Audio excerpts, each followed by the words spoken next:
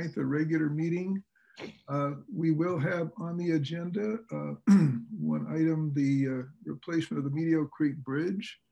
If someone already knows that they would like to speak uh, from the public on that subject, feel free to send in a chat. And uh, Michelle, while on the council, will just record that and you would be first in line to speak in that item when it comes up for public comments. Uh, you need to get attention, there's the raise hand feature, which is in the participants list when the attention is called for, or if you want to raise your hand during a session. Okay. With that, I'll uh, call the council to order and ask Barb, could you take attendance? I'll do that. I'm sorry, I need to clear it. Go ahead. Len Erickson, Present? Dan Haggerty, Present. Uh, Barbara Mathewson, Present. Da- Dave Olson. Present. I am present and Michelle Weil. Okay, Present. okay, All, all, all council members are present. okay. Then could you call out the names of the two new members? Well, I could, they're not, they're not, Well, they're going to be sworn in as the next item of business, so we'll just make sure they're here. they're here. Okay, thank you. Okay, so So would you be comfortable with me stalling and possibly doing my item? I don't see Don on the call just yet. I do not see Don yet, so that's fine. We'll go ahead with uh, your report. Thank you. All right, so good evening, Midcoast Community Council members and members of the community. My name is Lena Silberman, and I will be providing a report on behalf of Supervisor Don Horsley's office at the County of San Mateo. COVID-19 response has been ongoing. Based on the state's criteria, every county in California is assigned to a tier based on its test positivity, adjusted case rate, and equity metric. These tiers range from yellow, which is the least restrictive, to purple, which is the most restrictive. San Mateo County is currently within that purple tier. On December 4th, other Bay Area health officials announced that they would impose new local stay-at-home orders. The County of San Mateo remains focused on following the state's existing metrics and process while reinforcing the public's responsibility to comply with existing safety measures. I will include a link to Dr. Morrow, San Mateo County's health officer, statement in the chat. I will also include a link to the San Mateo County COVID data dashboard, which will give the most up-to-date information regarding COVID-19 in our county. I have also included a link to information regarding testing, which at some point, which at this point currently has a capacity of 4,400 tests per day, not including private organizations such as Kaiser. So that's just county tests. On the topic of the COVID-19 vaccine, Pfizer and the Moderna vaccine are both now under the review of the FDA. This will culminate in hearings this Thursday and next for emergency use authorization almost certainly occur within the month. The federal government has pre-ordered doses from both companies and we are preparing in California and locally for the first deliveries in the next coming weeks, shipped within 24 hours after FDA authorization. California is driving planning and coordination with county health departments and has formed a vaccine task force to guide the rollout. We do have county members on that task force. The federal Operation Warp Speed plans for a four phase rollout of the new vaccine across the nation over many months, targeting a first jumpstart phase as soon as authorized. The priority groups will be healthcare personnel and long-term care facility residents. At this time, we estimate that the first two shipments to San Mateo County will arrive in the next coming weeks and may be enough to cover about 24,000 of approximately 38,000 healthcare workers in San Mateo County. So moving on to Project HomeKey, the San Mateo County Board of Supervisors voted, voted 5-0 to approve the intent to purchase the Coastside Inn located in the city of Half Bay as part of Project HomeKey. If you want to learn more about information about Project HomeKey and the Coastside Inn, I've included a link to more information in the chat below. The board also voted 5-0 to allocate additional CARES Act funding as followed. $1 million to provide small business grants in targeted zip codes, $450,000 to the Child Care Relief Fund, and $150,000 to nonprofits that are associated with the arts. So this money was previously allocated to assist owners of small residential properties. However, the need has been less than we were expecting, and so it is now being reallocated to these three these three different groups. I will include resources with more information in the chat, and I will also include a link to San Mateo County Strong, which is a one-stop shop for COVID-related resources. On disaster preparedness, Supervisor Horsley and his chief of staff have been in contact with Nicholas Calderon, director of San Mateo County Parks, to begin the process of creating a task force to look into the obstacles our county faces in fuel load reduction and how we can best to create a comprehensive long-term plan for a safer San Mateo County. CAL FIRE and Fire Safe Council of San Mateo are also preparing for the event of post-fire related debris flows. Thank you for your time and I'm happy to take any questions. Does anyone on the council have any questions? Okay, I do. go ahead, Claire. I have two questions, please. Um, one is you said the business loans or grants were in targeted zip codes. Do you have any idea what zip codes those might cover? That's a great question, and I do have access to that. I think what I'll include in the chat will have a more comprehensive list on that. And if it doesn't, I'll follow up with it. Okay, just wondered if it applied to any anybody out here. Uh, the other question is I've been kind of watching what the ICU capacity is here. And I know on the uh, dashboard, they have ICU capacity and then they have surge ICU capacity. Do you know which one we, we go by? Yes, that's a great question. So when we're talking about ICU capacity, that is not including surge capacity. So our ICU capacity is quite high. And then we also have the additional capacity for surge. That's unrelated to that first number. We don't have a whole lot of extra beds left. So I'm, I hope they're watching that. I'm sure they are. I believe Dr. Morrow is. I hmm. when Oh, we, governor is too. remember how much it was? Not offhand, but it was pretty close to 15%. Thank you, that's all. Thank you.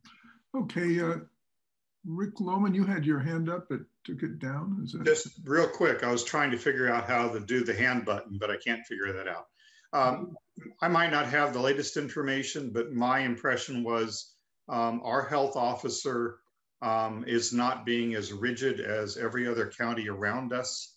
Uh, this doesn't seem like a good idea to me to open up San Mateo County and have everybody bring their viruses to us. Um, is that going to stand or are we going to shut down as every other county in the Bay Area? That's a great question. And I, I do believe it's close to every county, but I think there's maybe Santa Cruz didn't or Santa Clara didn't. Santa Cruz, thank you. Um, so I could answer that, but I would answer answer it much worse than Dr. Morrow does. So I will include his statement. He explains why. Um, and basically to, sum, to summarize it, it's that putting this order in place is more kind of in his mind, putting words to it. It's not, there's no, there's no real enforcement being added in a lot of ways. So for instance, a lot of the concern is if we don't close, people are gonna come to the beaches. Realistically, people are gonna come to the beaches anyways. And we don't necessarily have the capacity to put all of our law enforcement at the beaches and enforce that or close off our county at borders. So that's a very shortened, stupider version of what he said, but I'll include his statement in the chat. Thank you. Uh, Greg Diegas, a question?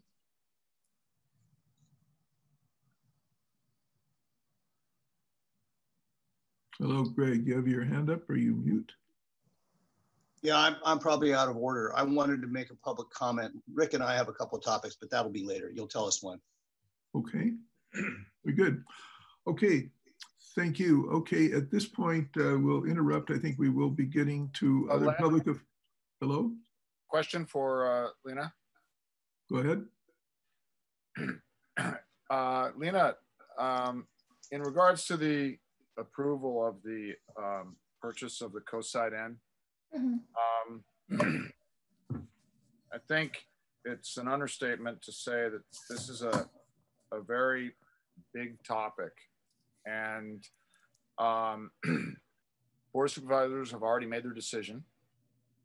Um, I'd like to request through you that um, we start to develop, the county starts to develop a, uh, we'll call it for now a fact sheet as to, um, you know, all the information that the public wants to know. And this is going to simplify, you know, um, contacts to the county and uh, just be a little proactive and start building a, a list. And it should probably should be a, a living list that uh, can can change as as time goes.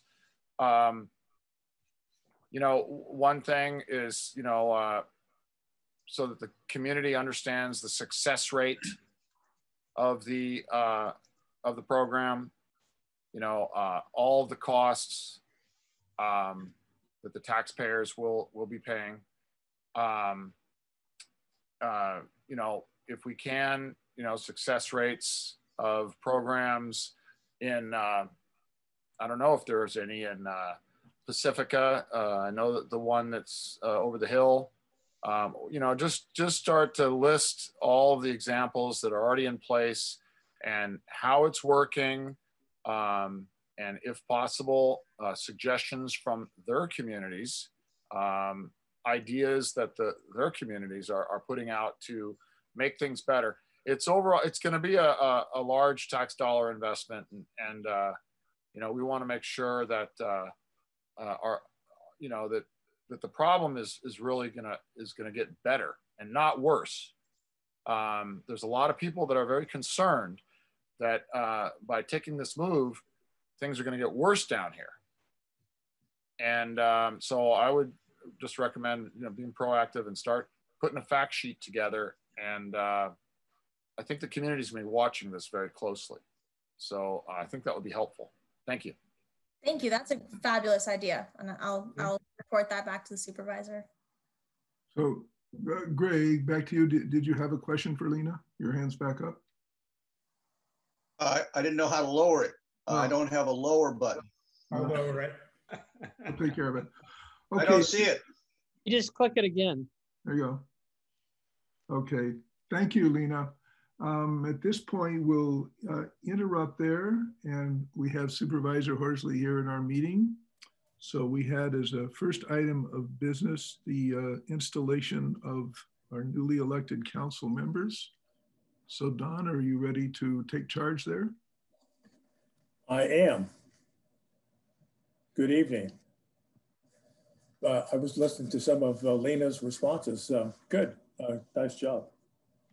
Uh, just to give you a brief thing about the, the uh, our health director, he does not believe that um, outdoor eating is the spread of the illness, nor does he believe that children and playgrounds spread the illness. So that, that's his uh, basic uh, premise. Um, and he does live on a coast coastside, by the way, as you all know, I'm sure. Okay, so I'm going to have, there's three new members. Um, and I would have each, what you're supposed to, there's, somebody put up a two, no, it's three, isn't there? There's two new members and an elected member who has been reelected. Okay, one, one reelected member. Okay.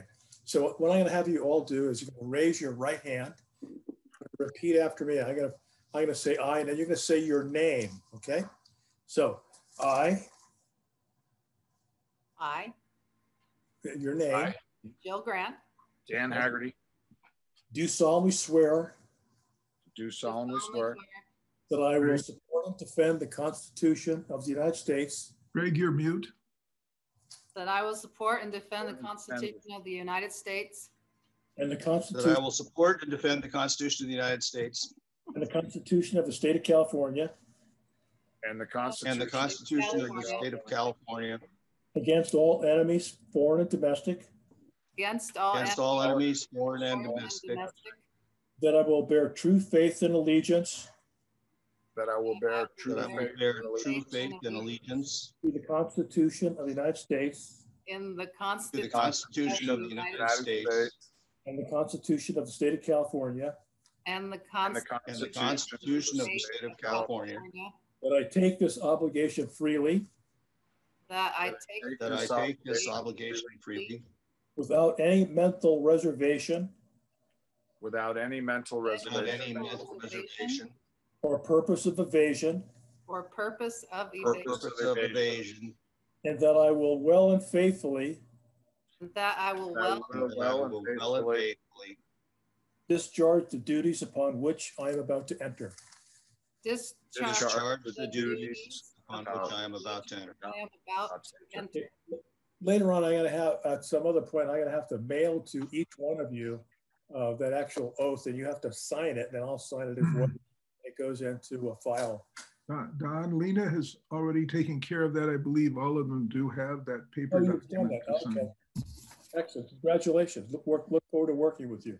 Okay, Don. thank you. And welcome to the board, new members and returning members, Dan. Okay. I'm going to continue with reports and uh, we have other public officials present here. Let's start with Harvey Rarback. Uh, Good afternoon or evening. Uh, It's a pleasure to be here. As Lena said, the uh, Board of Supervisors on Tuesday unanimously approved the purchase of the Coastside Inn. The City Council Half Moon Bay has had two meetings, the last of which had 200 participants and 60 speakers. Mm. Uh, so that meeting lasted past twelve thirty. Um, we, uh, listened very attentively. Uh, and as a result, we wrote a, uh, a, uh, request to the Board of Supervisors that the city council would like to enter into a memorandum of understanding that will involve the uh, responsibilities of the county, the responsibilities of the city. Uh, to answer what Dan was saying, some of the uh, the requests for uh, measurements about the success of the program, uh, what's going to happen uh, in the five-year time span when we might turn the uh, Coastside Inn into a uh, permanent supportive housing uh, facility. Uh, there are lots of things that still need to be uh, worked out, but the county has agreed that we will enter into a partnership with the community because it's important that we all work together to make this a success. Um, and I am actually delighted that after I've been working with uh, uh, Supervisor Horsley, among other people, for seven or eight years now, to actually get some transient housing for our homeless population at, at last. Uh, it looks like we have the beginning of a solution. So I think this is something that's going to benefit the entire coast side. Um, uh, the other thing I wanted to report on is tomorrow at 5 p.m., the City Council Subcommittee on Public Safety is going to have its second meeting. Uh, there has been a long report that's uh, written about the history of public safety in Half Moon Bay, uh, how we've dealt with the uh, Sheriff's Department and the City Police Department prior to that. Um, public safety is a real uh, important issue for the entire coast side. We share the, uh, the sheriff's department with the unincorporated mid coast. So I encourage everyone who's interested in what we're doing about public safety to attend the meeting at five. It won't be the last meeting. There's going to be a lot more next uh, next year, but it's a it's a good start. Uh, I'll be glad to answer any questions that anybody has. Uh, Claire, your hand is up. Did you have a question? Not for Harvey. I had a, a f- feedback piece for Lena. I can do that after Harvey's finished. Okay, thank you. Uh, uh, Sid?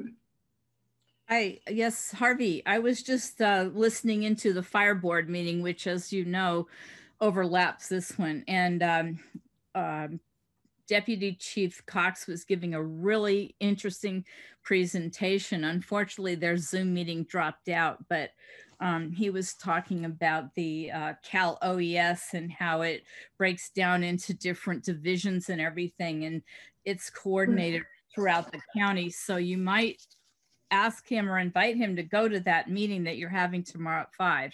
Because I know fire, um, as you know, because you used to be a director, they uh, they respond to a lot of our emergency things. And um, they also are very concerned about the fuel management, which we've had trouble with recently with the big fires and everything.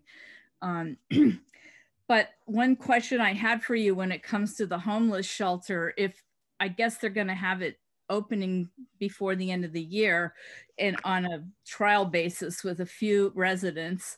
And um, since the fire district funds the ambulance, um, do you have any idea if that shelter is going to be needing more and more ambulance service if there are like psychic outbursts or drug overdoses or anything from some of the homeless that are going to be there because i know supervisor horsley did indicate that he was going to staff up more sheriffs because of the problems that he thinks might happen uh, it's it's my understanding that uh, if we do need more services from uh, the sheriff's department, they will be provided. Um, the thing that a lot of people don't seem to get is that the homeless people who are going to be living in that uh, shelter are already there uh, on the coast side. They're not there at the creek. They're uh, in the fields. So the requirements uh, for services uh, like ambulances shouldn't really change very much whether they're living in a congregate facility or um, uh, in the creek. Um, but you have a management company taking over, they may make calls instead of just letting a guy you know, fight it out in the creek on his own. So that's what I asked because I remember that there was, we didn't staff a lot of ambulances, and a lot of times they're needed for cliff rescues or somebody goes over a Devil's Slide or there's a drowning and that sort of thing. So, how many ambulances do you think we have now in the fire department that are uh, stationed here to take care of things? One. Okay, that's what I was afraid of. If they end up taking people from that facility over the hill, for you know emergency trauma things or any of that will be short shorted out i guess. Okay that's all i wanted to know. Thanks. You're welcome. Good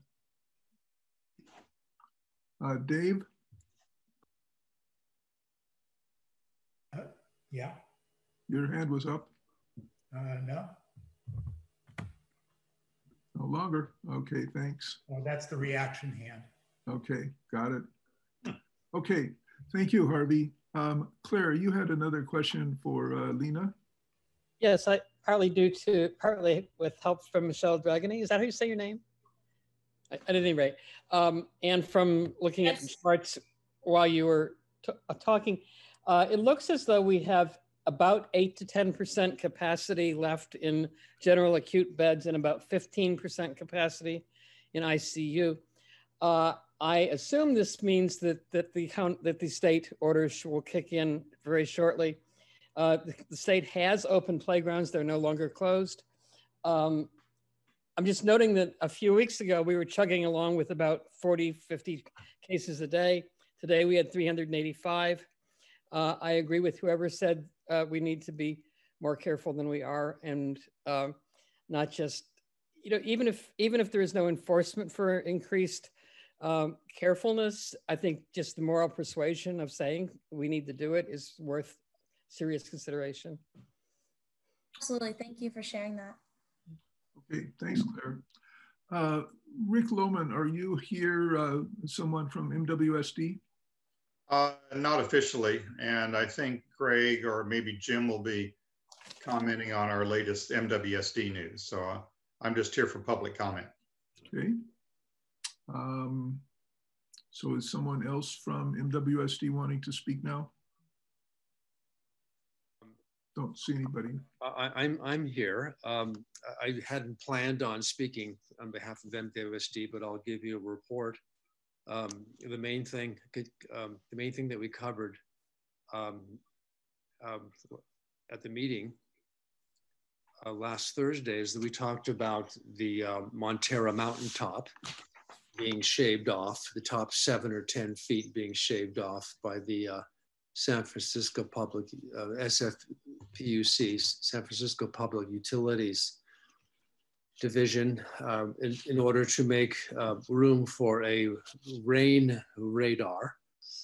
Uh, they hadn't um, they hadn't notified anybody on the coast side except apparently maybe Half Moon Bay, and um, we asked we hiked up to the mountain a week ago and met the um, the um, the uh, SFPUC um, uh, executives, and they agreed to hold off on construction, and that they would consider putting the radar in a side location next to the peak, and that they would uh, put the peak back into position. So we're we're going to follow through on that, and um, and it was a positive meeting on top of Mount Montara and we had a lot of community input on the issue at the last meeting Thursday. So we hope that uh, these things will happen and the um, uh, peak of Montara will be um, reestablished and put back the way it was uh, before. Any, uh, anyone else want to make comments? Uh, that was the main. That was the main uh, focus of the meeting yeah. last Thursday. Quick, MWSD. You want to add anything, Rick? Yeah, just the other item before that area was all fenced off too, they have also guaranteed that they will provide free, open, public access to that site forever. So lots of good things happened. Thank you. well, I, let, let, me just add, I'm, I'm going to have an article on this in Coastside Buzz tomorrow. I had a meeting today with the regional director of USGS and NGS about the marker. Clemens, I pulled into the call there's a lot more to be discussed, and I would disagree with my esteemed colleague, uh, Dr. Lohman. There's no guarantee. There is a statement of intent to reconsider. So this will take continued attention, but I applaud the effort by Montara Water and Sanitary District to get this thing at least started in reverse gear. And uh, read the article tomorrow, and you'll have much, much more detail. Thanks. Great. Thank you, Greg. I do not see anyone else here with public office, so that will close this item. Uh, next, we have uh, item number two, public comment for items not on the agenda. Does anyone wish to speak here? If you do, please raise your hand. I see Rick's hand raised. Go ahead, Rick. Yeah, first of all, I'd like to, obviously as a former uh, MCC alumnus here, the um, I'd like to thank all the people who ran again this in this election and got elected, and all the people who are already on the council and serving. Uh, you folks do a great service for the community. I know it's a lot of work. I've been there. Um, the hardest thing we had was always trying to gather public input on items. And I would just encourage you to try to optimize that as best you can under these awful conditions. And I think you're doing a great job. Uh, the specific item I have is a meeting or so ago, you folks um, basically approved the Caltrans request to put in several of those large, uh, I call them freeway traffic lights. Um, Har Harvey corrected me a while ago and said there were five of them going in on the coast. I just knew about the couple northern ones. Um, my comments are based on the coast Coastsiders are a very active, involved group. Um, they don't take real kindly to folks like Caltrans telling them what they're going to do. Um, you folks probably all know about the tunnel. Caltrans was going to come in, blow up Montara Mountain, and put a big freeway through. Coastsiders said, no, you're not. And we got it on the ballot and we blocked it. And now you've got some huge tunnels. Immediately after that, Caltrans put an undocumented big freeway traffic sign up on our side of the tunnel. Uh, Coastsiders said, no, that's not in the plans, called the Coastal Commission. Coastal Commission said, take down that sign. It's not in what we approved. So these folks are active. Uh, a while ago, there was a big study about uh, crossings in Moss Beach to Montara. Uh, lots of big proposals were made, including, as I understand, like 75 signs, flashers, lights, and a whole bunch of things to basically urbanize that entire corridor. Coastsiders said, no, that's not what we asked for. we don't want that. And that stopped back then. Now it's evolving possibly into connect the coast side. And I'd encourage everybody to stay active. My impression just from the meeting before is that you folks approved it on the condition that they would, the big signs would only be used for emergencies. Um, I've been told that that was the same thing that happened on Highway 50 going up to Tahoe. And after they were installed, they just became used for everything again because Caltrans doesn't listen to people. Uh, my request is um, I would like to know if you folks could re-agendize this for a little more input.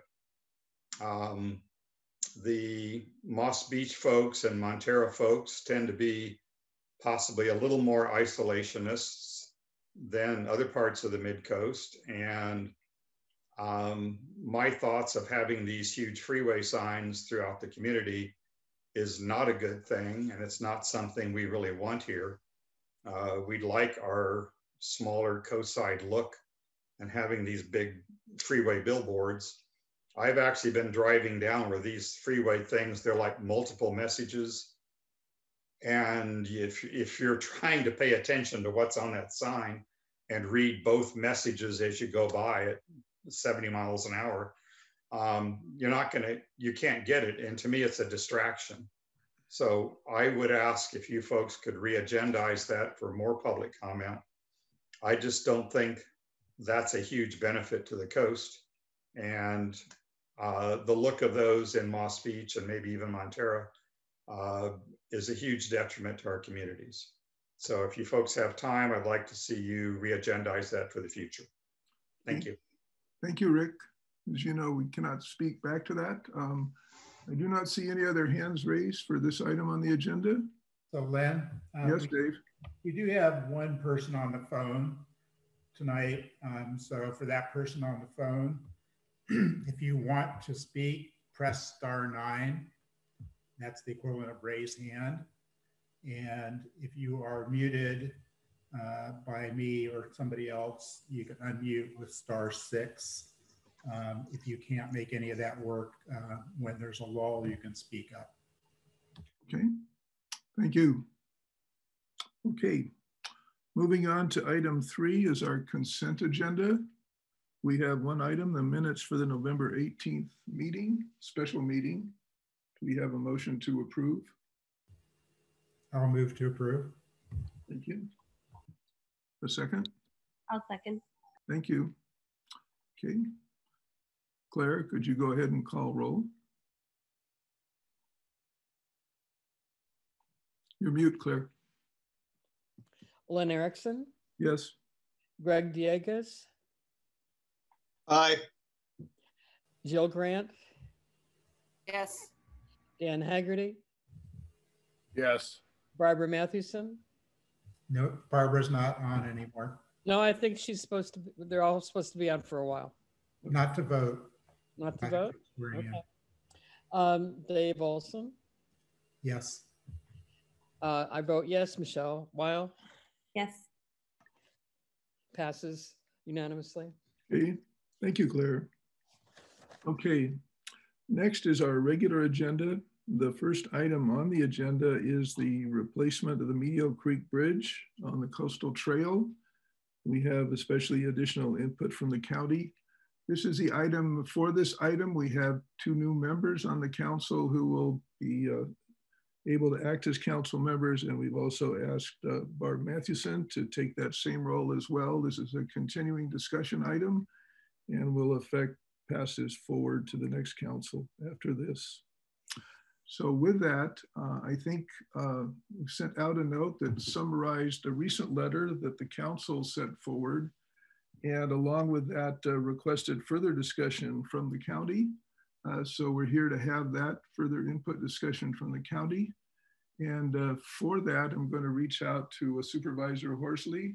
You have other people as well as yourself from the county. So would you indicate how you'd like to introduce the lineup?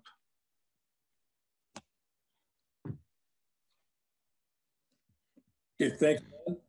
Um, I have, uh, besides Lena, four members of the county staff, uh, Jim Porter, who's our director of the Department of Public Works, Joe LaClair from Building and Planning, and uh, and Ann Stillman are both uh, engineers from the county. So I, am going to let, uh, you know, I, I can just say that,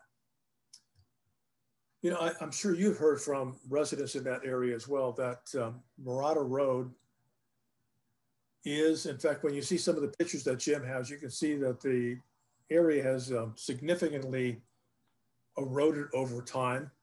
And obviously because we've had these uh, king tides and rising sea level, that's uh, going to be a continuing problem. I think that building, rebuilding the bridge in its current location is really the best option. I hope you would agree after hearing from our engineers. And uh, I'm going to let them actually describe the, the, the, project, but I have to say that I was out there with a representative from the city of Moon Bay and some of the residents as well. And if we uh, abandon that particular bridge, you're essentially asking us to abandon that whole neighborhood. And I'm not really willing to do that at this point. So with that, I'm going to have uh, let you. Uh, did, did you want uh, Joe LaClair or DPW to go first? I'm going to have, uh, well, I, I just have uh, Jim Porter go first. Okay. Thank you, Supervisor. Uh, my name is Jim Porter. I'm the Director of Public Works for San Mateo County. Um, uh, Supervisor Horsley mentioned some of the staff here. I'd like to also um, acknowledge Robert Stevens. He's a civil engineering consultant that's working on this project. Also with us tonight is um, Gil Terrell. He's the principal engineer uh, in our department that essentially runs the engineering group. And also Wensi Ning, who's a senior engineer, and this is her project. So let me try and share my screen here. Oh, host disabled participant. Yeah, I will have to make you co-chair. I'd asked earlier, but I guess. Either that or I sent a, a, copy of the presentation to Len. Uh, if you guys, you guys can drive or I can drive, it's up to you. You should be able to share now, Jim. All right, let me give this a whirl. Here we go. All right, let's see. All right, can you see that? Yes, we can. Okay, let me get to, hang on. Let me minimize this for a second. Hang on. One sec.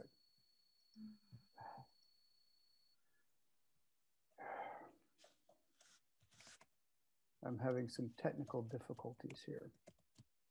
Um, here we go. Okay.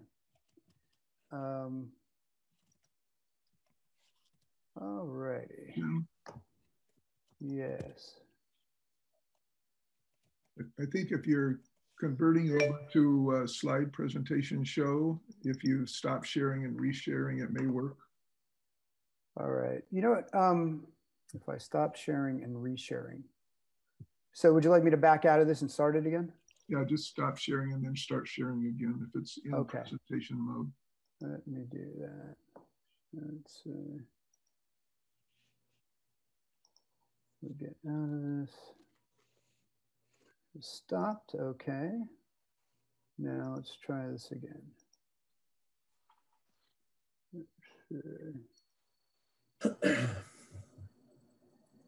Boy, I really messed this up. One second. I apologize for the delay. Let me get this up. All right.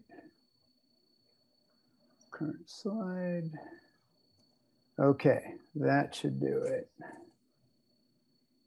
And let me get back to the meeting. All right. Hmm. Can you see my screen? No. All right. Hang on. Here we are. There's one. Here we go. Um, okay.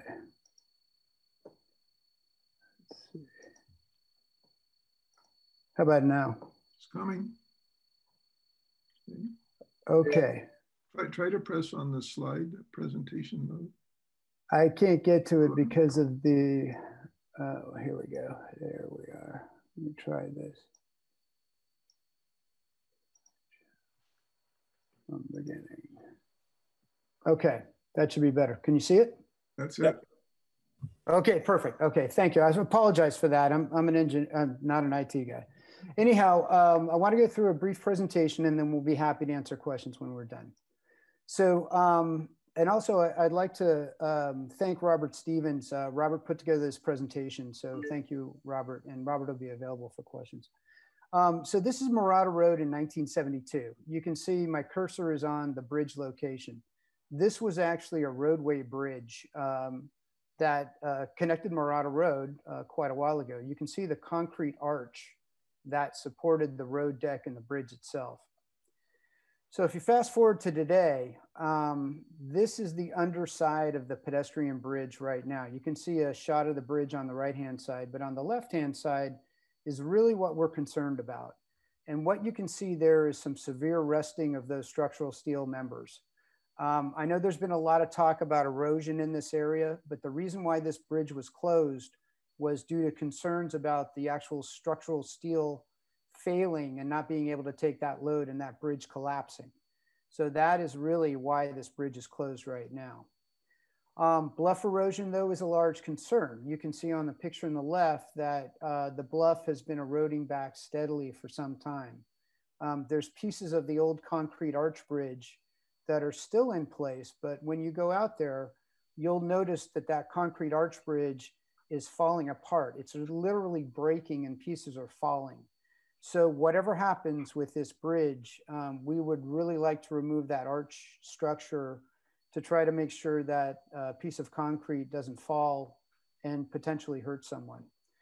Picture on the right was from 2017 when we had some major wave action out on the coast side and saw some significant bluff erosion on Mirada Road. So this is our crews uh, going out and putting in some, some stone erosion protection, some what we call riprap to try to protect that slope. Um, this slide gives you an understanding of what the usage is of this bridge and the, uh, the coastal trail in general. As you can see, there's an awful lot of pedestrian traffic and bicycle traffic, particularly on the weekends. So if you do the math, um, you know, you've got over 850 um, bicycles and over 1,400 pedestrians a day on Saturday that were using this bridge. So it's quite heavily used. Um, so what is Mirada Road Bridge surface? It's, it is the coastal trail. Um, so that provides the um, continuation of the coastal trail, both from the north and south of this Medio Creek. It also provides access to properties um, on either side of the bridge. Uh, and it also carries some utilities. There's electrical lines on there and there is a sanitary sewer line on that bridge as well. Um, as we go from summer to winter, there are changes out on the coast side by the bridge, and it really has to do with the sand deposition. You can see in December and the beginning of the winter, um, you start to see the sand pull back a bit. You see a lot more rocks. In the summertime, the sand tends to come up a little bit higher and stay there. Um, and then back again in February, you can see there's a bit of uh, sand leaving, but there's sand moving in and out of this location depending upon the wave action in the area. So um, we did, or we have looked at potential alignments for this bridge. Um, we're pursuing replacing the bridge in its current location. And the reason for that is expediency. Um, this is the fastest method to get the coastal trail back in operation along the coast actually. But we did look at various other options, which I'm gonna go through right now. Um, one of which was uh, an option to go and actually, oh, I'm sorry, let me go back.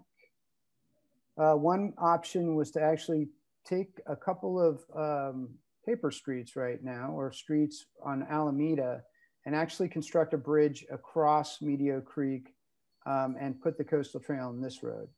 Another option is to actually um, just take away the bridge and put pedestrian access down to the beach on either side of Medio Creek to allow people to get down to the beach and to cross it during the summertime. And then a final option is to uh, essentially formalize the detour, and I'll explain what formalize means later, uh, to bring people down to Highway 1 and then bring them back on the coastal trail. So again, these, uh, these are the alternatives. There's always the no project alternative that we um, evaluate as part of the as part of the environmental review. There's uh, managed retreat by relocating uh, the bridge and the coastal trail to Alameda. Um, I mentioned the seasonal access, that's option three. We remove the bridge and essentially build stairs to the coast side. And then the fourth option is rerouting the trail to Highway 1, essentially formalizing the detour. And then the fifth option is what we're pursuing, which is replacing the bridge in its current location. So in terms of the no project option, um, there are you know certain drawbacks to that. It would eliminate the coastal trail basically along uh, the coast. So this is going to be tough on people that use the trail not only for recreational purposes, but for biking to work uh, and um, essentially just to get through the area. We'd also need to have the utilities relocate their lines from the bridge. So um, that would be up to the sanitary sewer utility as well as PG&E to reroute, excuse me, reroute those utilities. And um, there is a potential for loss to tourism. That's uh, you know, sort of a, a, a, projection. It's really not um, proven at this point, but um, it would be an impediment to access along the beach. The other option is, is what is called the managed retreat option. This is also called the Alameda option, and that is to reroute the, um, the trail onto Alameda. We would construct a new bridge across the um, Medio Creek in that location and um, essentially formalize the trail on Alameda.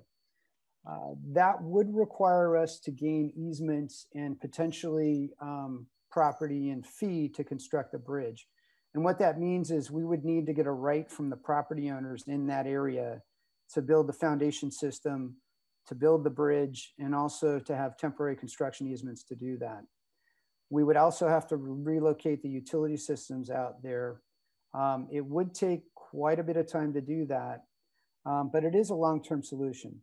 I will say I have heard from the community on Alameda and um, all of the feedback that I have is negative. Um, if you walk out to Alameda, those are essentially two cul-de-sacs right now. And I showed you earlier what the daily average use of that bridge is on the weekends. That would be a significant impact to those cul-de-sac streets right now. Um, this just shows what that could look like. Um, this is a very conceptual design, but we would go in, we would construct a bridge from the end of Alameda to the other end of Alameda. We would go in and likely pave uh, the dirt section of Alameda in here, and um, that would be the new coastal trail.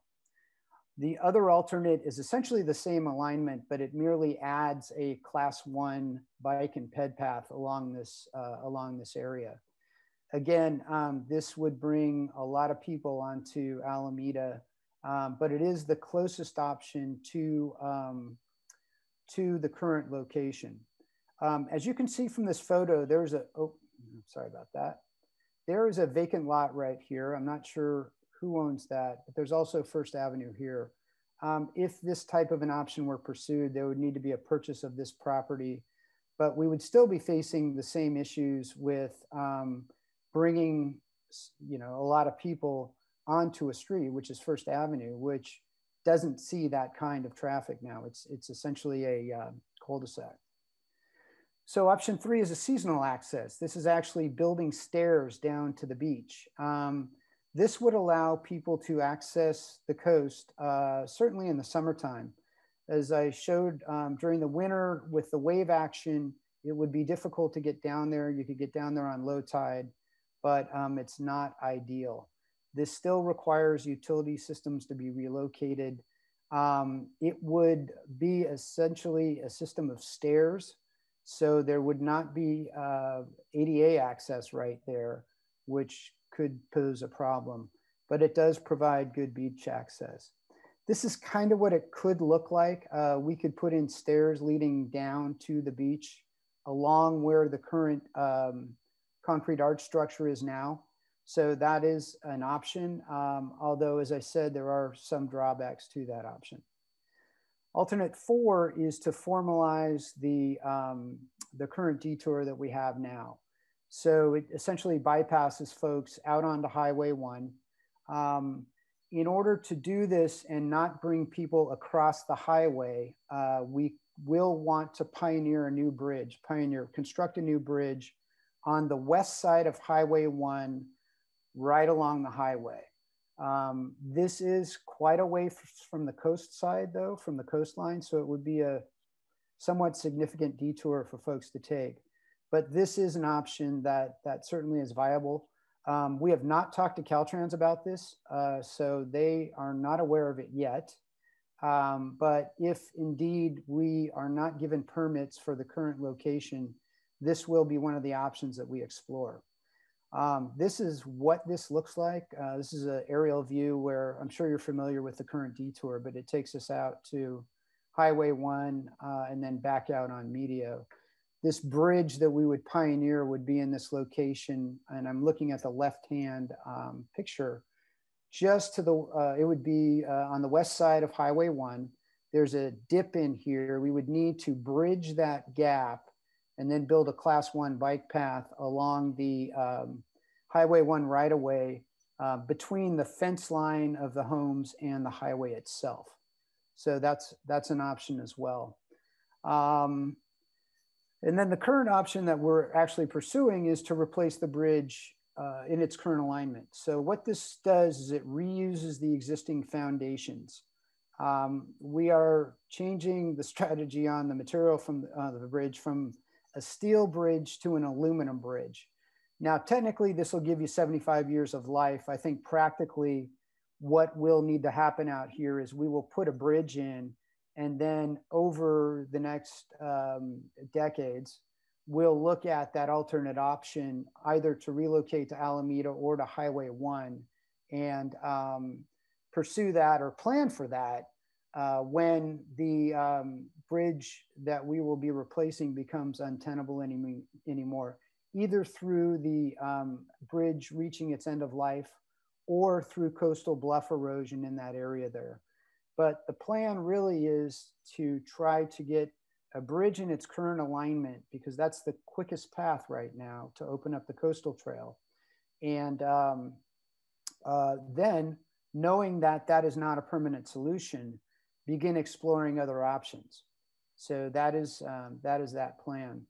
Here are some renditions of what that'll look like. And this is what the project will look like. So we'll come in with an aluminum bridge. I'm looking at the top photo the depth of the span is greater than or deeper than the steel bridge because aluminum is not as strong as steel. So these trusses have to be larger.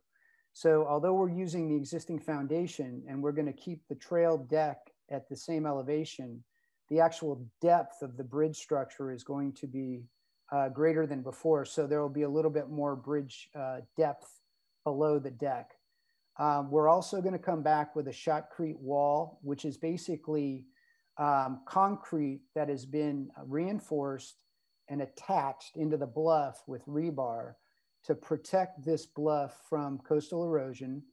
Uh, the way that'll be constructed, these are this is kind of an artist rendition of what those rocks are that you see there every day. We'll pull those rocks back, construct the um, the uh, shotcrete wall and then bring the rocks back on the toe of that slope to provide protection from erosion there. Uh, we'll also build a shotcrete wall on the south side of the bridge. So that'll provide protection to that bluff and um, that will be the project. And this is kind of a plan view from the ocean looking inward towards that, what that might look like. Um, these are some details about what a shotcrete wall looks like. Again, we'll be um, building a wall you run rebar into the bluff, um, that anchors in. That's what ties the concrete into the bluff. And then the erosion protection on the bottom will um, provide some protection from erosion. Uh, the summer sand, as you can see, comes up pretty high. Uh, the winter sand is pretty low. Uh, we see a range, it says eight to nine feet. Um, that is a big range, but I'm sure that you've seen quite a bit of movement of that sand um, between summer and winter. So in terms of where we are, we're currently um, in the permitting stage. We've gone through feasibility studies. Uh, we've gone through CEQA review. We're right now in permitting. We will have this bridge um, hopefully permitted and designed by uh, next spring, and we should be in construction in the summer of 2021. Now that is dependent upon getting all of our permits. So there are four outstanding permits, one of which is with the Coastal Commission. Uh, we require a permit from the Corps of Engineers. Um, and there are two other permits, uh, Regional Water Quality Control Board and another one that escapes me, but uh, my staff can step in if you really want to know the details on that. Uh, but that is the project in summary. And with that, um, that concludes my presentation and we'll be happy to answer any questions you have.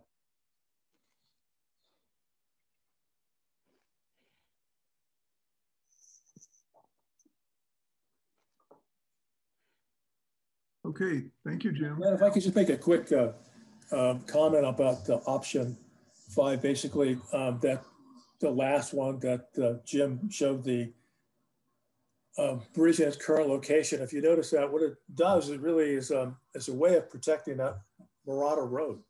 And I know that uh, Dave Olson, and I, I think it was somebody else from MCC, a few years ago, we looked at all the whole area and we thought about what happens as that continues to erode. And we did at one time think of about a project for, uh, I think what would they call a, um, a sheep wall to protect the Mirada. Yeah. You know, you have houses and you have some business establishments that I think are really important to the coast side. Uh, we didn't think that that would ever, the sheet pile wall would actually work, but uh, we have continued to do the uh, rock, rock slope protection.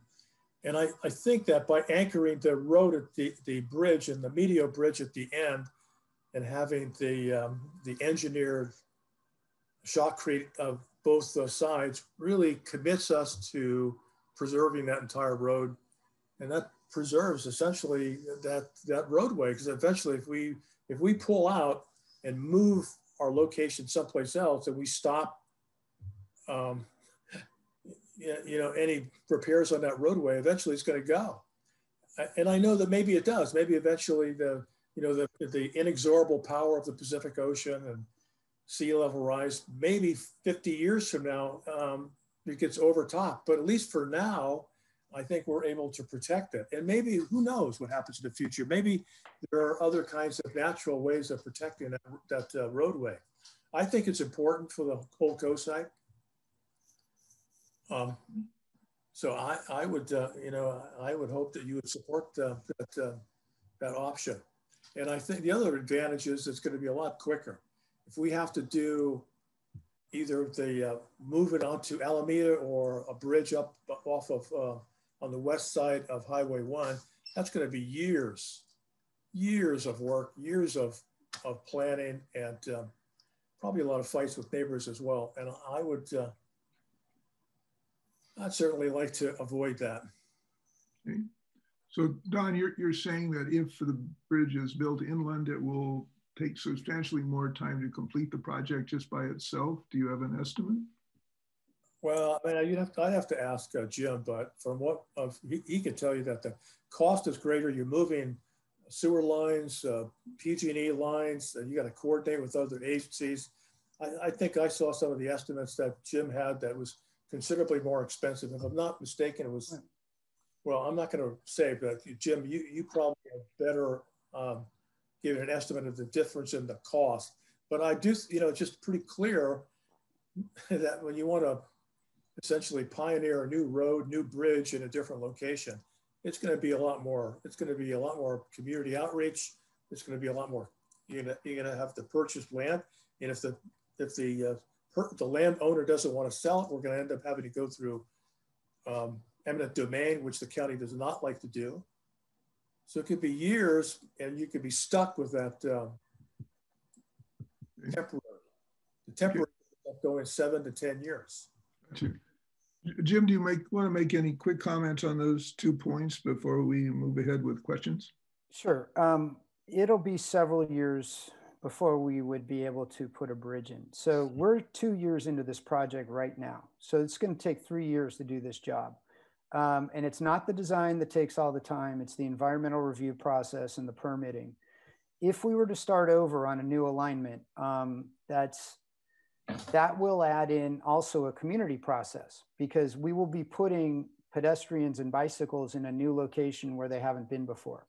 And um, I know Joe LaClair is on the call. I can see him right there. Um, uh, what would happen was before we ever started design, there would be a large community process to talk about all the available alignments and what the preferred alignment will be. Having gone through these kinds of processes before, that's going to be a year or two maybe before we ever start design. You figure it's taking us three years to uh, design, permit, and construct this bridge. I would say the shortest you will see a new bridge or the, the quickest would be five years. I think realistically, you're looking at five to 10, like Supervisor Horsley was saying. Okay. Yeah, that's a more costly effort too, I assume. Uh, we haven't done cost estimates on it yet, but um, you can expect it to be as much. And if you consider what the um, CPI or the Consumer Price Index is doing, um, just the, the, the value or the the increases in construction costs are going to add at least 25 to 50% just over time waiting. So thank you. So also we, we track with the Coastal Commission has sent you a set of questions to answer about that. Do you have an estimate on when you'll respond? Um, I don't. Um, I know we've got staff on the call. Um, Ann Stillman, are you there? There you are. Yes yes, I am. And we're uh, we have responses. We're preparing responses, finalizing responses to the Coastal Commission's first set of questions. So I'm hoping that we get those out um, probably next week. And then they have additional questions that we're working on as well. But part of that requires um, some analysis that will take a little bit longer. So mm -hmm. that probably won't be for at least a month. Okay, thank you. Okay, so uh, next we're going to go to questions coming from the council. Uh, each council member will have up to three minutes for questions. This is questions and clarifications. We encourage you to be concise as we want to go to input from the community after this. Just so everybody's uh, following, the order I'm going to call the council is uh, Dave first, followed by Claire, followed by Greg, followed by Barb, followed by Jill, followed by Dan and Michelle. Okay, Dave, could you lead off? Barbara's not on the council. We, we said for this purpose, she's joining the full discussion. We're continuing from last year into this year. So we're giving her that option. Yeah. Thank you. So a um, couple things. Um, as, as some of you already know, GCSD wants to move the sewer line anyway. They're not fully committed to it, but they've done 95% of the engineering work and planning for it. So um, that will almost certainly happen. And of course, even if the bridge is rebuilt where it is right now, sewer line will have to be bypassed temporarily. Um, rerouting the PG&E line should be pretty trivial. Um, so I think that's sort of a non-issue. um, talking about, you know, it might take five or 10 years to do the other options um, as uh, Joe put in his letter to the council earlier today or yesterday, um, that process needs to start anyway. Um, and we all know from past interactions with both planning and DPW that resources are limited. If you start uh, rebuilding this bridge in place now, um, that's just going to delay the future planning. So that cost, when it does move, is going to go up no matter what. Um, my opinion, it may as well go up now. Um, and as I've said to almost everybody involved, um, I am not opposed if we could do replace the current bridge relatively cheaply, but it has a huge opportunity cost to replace it and then postpone the other work. And more than anything else, it's the armoring. Um, it is my opinion, and I think uh, Joe sort of alluded to this in his letter, that the emergency armoring that the county put in in 2017 and added to again in 2018 and 2019 and 2020 has all accelerated the erosion that is making the arch bridge fall down even faster. Um, and if you put in more armoring there, you're just going to move the erosion further. So um, you will have to do those erosion studies no matter what. I do not believe you're likely to get those done in the next few months. Maybe I'm wrong. Um, perhaps your consultant can speak to that later on. That's all I've got for right now. I'll, I'll have more later. Okay. Thank you, Dave. Next is Claire.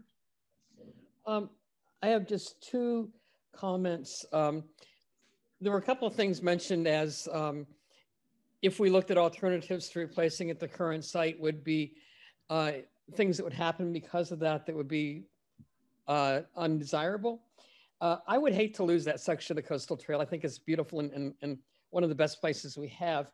On the other hand, the coastal trail does exist away from the immediate coast, both north of El Granada and, um, and other locations um, on the coast. The, the fact that it is so close to the actual ocean is almost an anomaly. So it's not impossible to have the coastal trail inland, maybe even half a mile. That's certainly done. The other thing is the detour out to Highway 1 would not be too dissimilar from the proposed um, uh, coastal trail extension between uh, um, Wavecrest and, and the Ritz, where they're going to have a detour where uh, they bypass the creek there, uh, which is a, pretty similar to the detour that we currently have in existence. So both of these uh, possible drawbacks to making any changes other than just replacing the bridge uh, do have precedent and, and are manageable. Okay. Thank you, Claire. Next is Gregg Dieguez. I want to just uh, um, build on top of what Dave was saying. I checked with GCSD. That sewer line is not active now. And in fact, they are moving inland permanently. I also suggest that the electrical conduit shouldn't be there at all. Um, one thing I noticed that the county is essentially willing to pay for doing this project twice. And I do understand that the neighborhood and the access, um, lower immediate cost, faster, faster restoration of service is the priority. So I, I get that. But how long is this going to last? That's one question. The second thing is Dave's brought up some points about erosion. And uh, I found them particularly alarming that the possibility of the shelter or reinforcement or the barrier, whatever you want to call it, is going to actually intensify the inland erosion and affect those property owners. So, you know, I, I, hope you have some kind of expertise or study to prove that that is not the case, because that would be a fatal flaw if it were. And then finally, um, Supervisor Horsley made an important comment about abandoning the neighborhood. I didn't understand that. Um, why would moving back abandon the neighborhood? Um, and won't we face the same outcome in 20 or 30 years? Again, that relates to my question about how long is this going to last. And then finally, assuming the MCC is generally supportive of this priority, uh, is there something we could do to be of help with the CCC in getting you the permits? In other words, overcoming any uh, any concerns the CCC has. Do you want me to repeat the questions? Thank you. So um, I tell you what, let's, um, we're going to go through the council's questions as a whole first, and then try to keep track of them as we go. Uh, Len? Yes. So, uh, you, you, confused me there because uh, you weren't, it didn't sound like you were allowing continued uh, input from the council members. No, we're, we're going through. Barb is next up. Okay. Um, first off, I, I do agree with everything that Dave said. I I think there was too much emphasis put on the utilities because I don't I don't believe the utilities are part of the uh, bridge. Um, the I still agree that I think the Alameda idea is is the better uh, better alternative. Uh, we were presented with plans for a uh, plastic bridge that was going to be put on uh, a month or so ago. Now we're talking about an aluminum bridge. Uh, the idea that this is going to last another 30 or so years, I don't think that's that's going to last.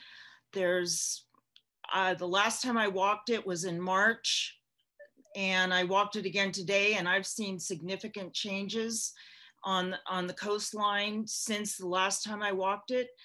I don't think that the Highway 1 detour is, is an option.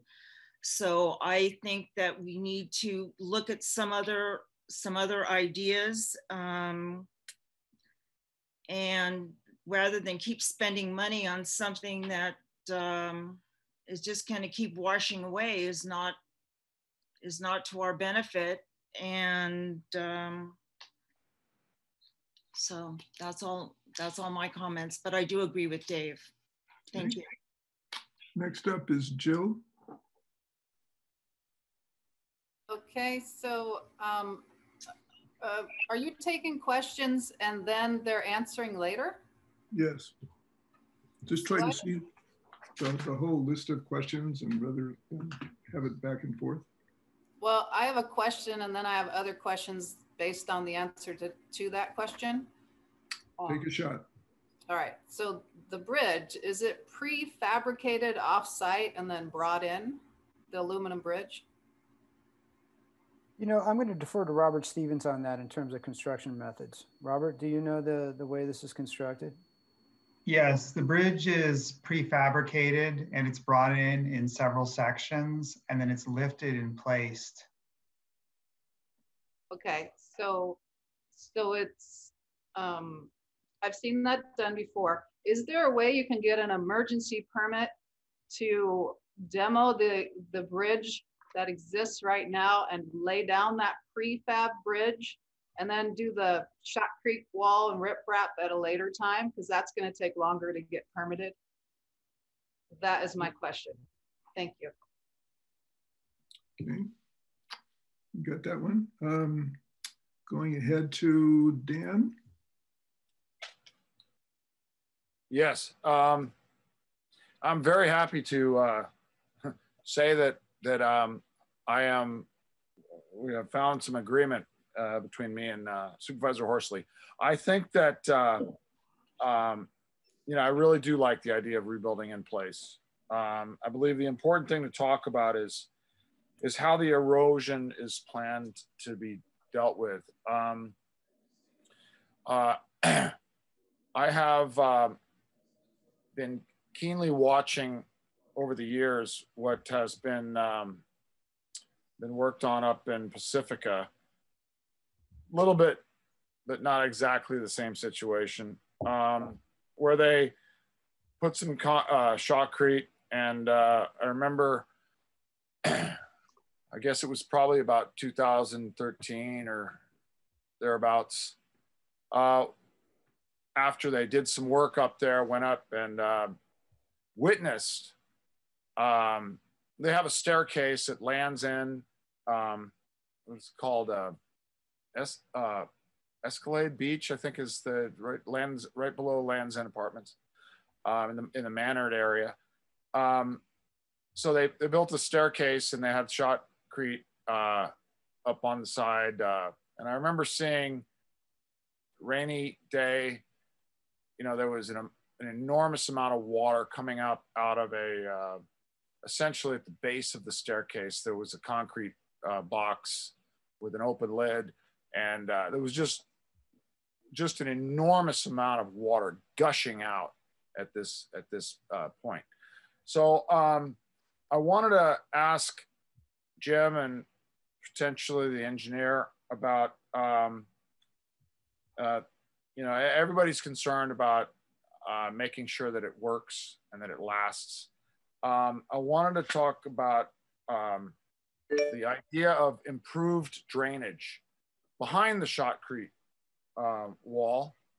Um, and in addition, you know, I think that there's the concern with, uh, I did see from your drawings, Jim, that there was a, like a little bit of riprap on the, on the uh, connection between the sand and the wall.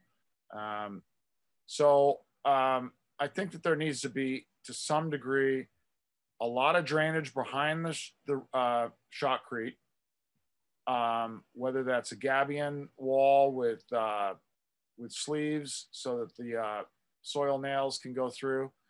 Um, and then in addition, some type of a buffer at the base. So when the waves do hit, um, it, it really disperses. Uh, there might need to be some sand replenishment on a maintenance uh, basis um, around to, to really soften that blow from the waves um, and to make sure that there's plenty of drainage so that um, you know the soil behind the wall doesn't doesn't wash away. And I think that that is what was the problem with the project in uh, uh, Pacifica. Uh, they had to redo a lot of work. Um, but uh, I think we can learn from from what is going on in Pacifica. It's very similar. So um, yeah, I'm interested in uh, Jim's comments and potentially uh, engineering comments. Okay. Thank you. Thank you. Thank you, Dan. Uh, Michelle? Yeah, in terms of questions, I mean, my, my quite, so the situation we find ourselves in is that, you know, it, a lot of us are concerned about the, the rebuilding the bridge in this existing location.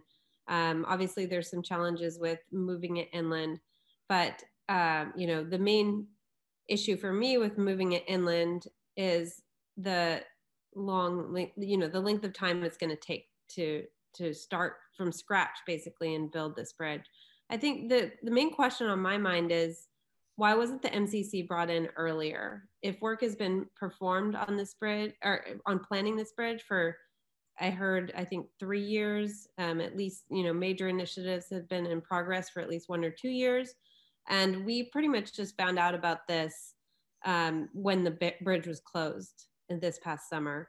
Um, so that my question is for Supervisor Horsley or, uh, you know, or someone on his team, you know, why weren't we brought in earlier as the MCC? You know, it's our area that, you know, we obviously care a lot about and want to make sure that we do the right thing here. So I would like to understand that better. Okay, thanks, Michelle. So uh, Don, would you like to respond to that first part of the question? and Then we'll go back to Jim. Yeah, yeah I, I would. Um, Michelle, I don't think we really, it was really essentially, it was kind of like filling a pothole. It was, um, you know, originally all we thought about was just all we're doing is replacing a bridge. It's actually be the I guess it would be the third bridge. And it wasn't as if, I mean, yeah, if, we were, if we had said we're going to abandon that and move it inland someplace, cer certainly we would have um, involved MCC. But it wasn't, it was just, it was essentially a maintenance project. And frankly, I, I, so I just looked at it as like they're, you know, resurfacing a road or, you know, so it's, a, it's, it was, it, in fact, we're kind of surprised, at least it caught me by surprise when the thing had to be shut down. I knew it had to be replaced. But again, it was just, it was just to, to me, it was just simply a maintenance issue. If I, would actually uh, go back to uh, Gregg Dieguez' question about uh, the neighborhood, and I have some time tomorrow. If you want to go out there with me, or any of the MCC people want to go out there with me and take a look at it, I'll be glad to show you what I think uh, or why I think this is really important to replace it in its current location. So I if I could meet you there at 1230, 1 o'clock tomorrow, I'm available. Okay. Can we do it? I'll see you. I'll see you tomorrow. What, what, say, let's say one o'clock. Give me a chance to eat uh, lunch. What specific location, Don? Uh, right at the at the bridge itself. Right at uh, the Medio Bridge itself. Which side? North side. Uh, let's take the north side. Good. Thank you. Um, okay, good. Uh, anybody else who's uh, uh, you know who wants to, uh, commissioners also want to uh, be out there. Um, yeah. What, Dan? Um, so yeah, Don, I, I would love to be there with you. I yeah. really would, but I have a work uh, situation oh. not allow. are there is there any way that we could, uh, you know, schedule it around, you know, normal work hours? Um, I, I, earliest I, I can't, I can't, yeah, I could do it next week if you want, if you guys want to do that, but I can't do it Friday. I have um, a joint powers board that I'm the chair of, so I can't do that. Um, Don, maybe you could give us a quick little uh, preview of what you would be pointing out on your tour uh, for those of us that won't be there. Well, I like I'd like to point out the erosion and how eroded that. that I could take photos and I can take a video.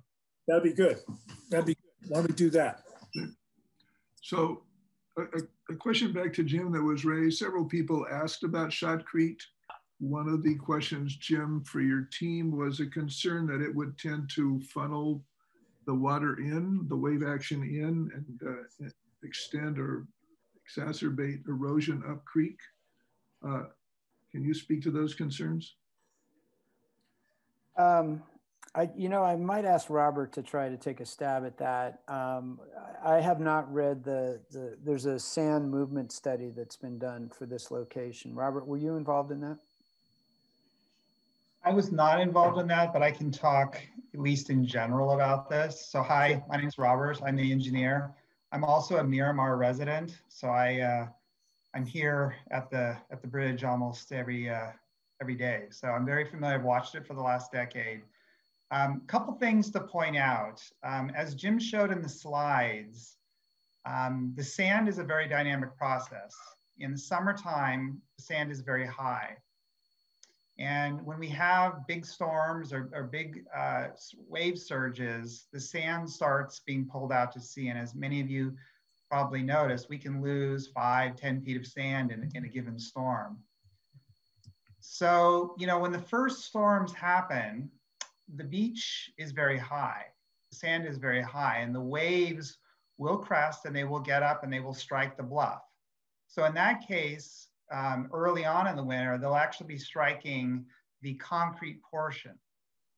As the winter progresses uh, and as the sand retreats, the waves may hit the concrete, but they'll spend most of their time interacting actually with the riprap below that. So while the concrete and riprap can change the wave patterns along a coastline, in this segment, we're talking about a very small area. We're talking about a very small area that's being um, armored with these improvements and that the vast majority of this area already has some sort of human-made improvement to it. So we don't expect to have a worsening condition uh, upstream in the Arroyo de Medio or in other locations along the coastline. Thank you. And then um, there was another question about the design of the shotcrete wall. Um, so uh, Robert, you're probably an expert in this. I know I'm not, but generally those walls are designed so that they will resist water from undermining the wall both below and above. But maybe Robert, you can speak to that a bit. Yes, so the, the project actually um, promotes drainage from behind the wall. And if you think about it, you have a giant concrete wall here and below it you have uh, rock riprap. So water that might be migrating behind the wall is actually gonna be flowing below the rock riprap. Okay. Thank you. Um, Joe LaClair is here from planning and has shared a document uh, regarding the future here. Uh, Joe, could you make a few comments?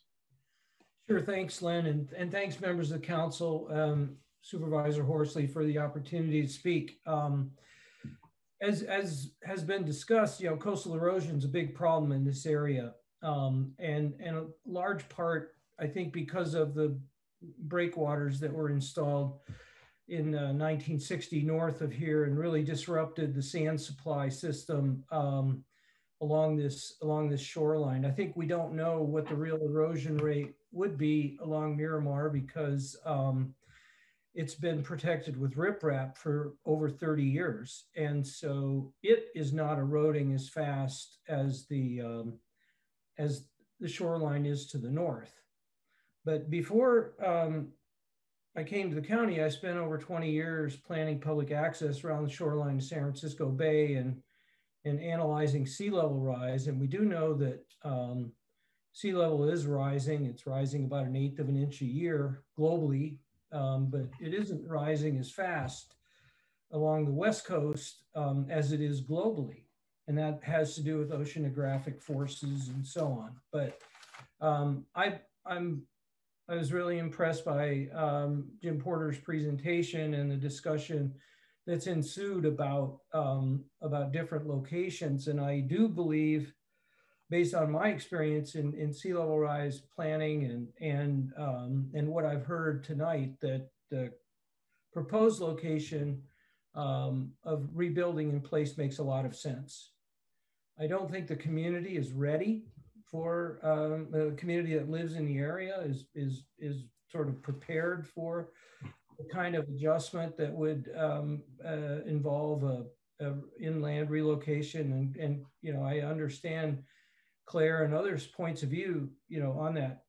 question, and, and there's a real, you know, there's some real trade-offs to consider with regard to cost effectiveness. But I think looking at the price and and and and the 10 or even if you got 10 or 15 years, 20 years out of this bridge, I think it would be a very cost-effective decision to rebuild in this location. Mm-hmm.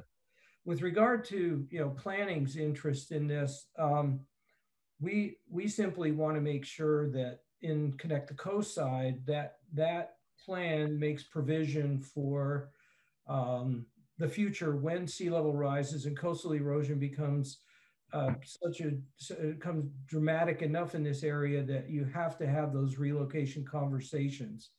I'm not convinced that we're there yet, um, but um, that it, it you can make an argument, a prudent argument for for relocating inland, but I do think it would take you know considerable amount of time, and I and for that reason, I believe it makes sense to build here and to and to commit to longer term planning processes that look at not only the location of the coastal trail, which is what you know connect Coastside's focused on transportation. And so you know we will we will touch on that. But i think down the line um, we have to not just look at the coastal trail but other infrastructure in the area that might be at risk.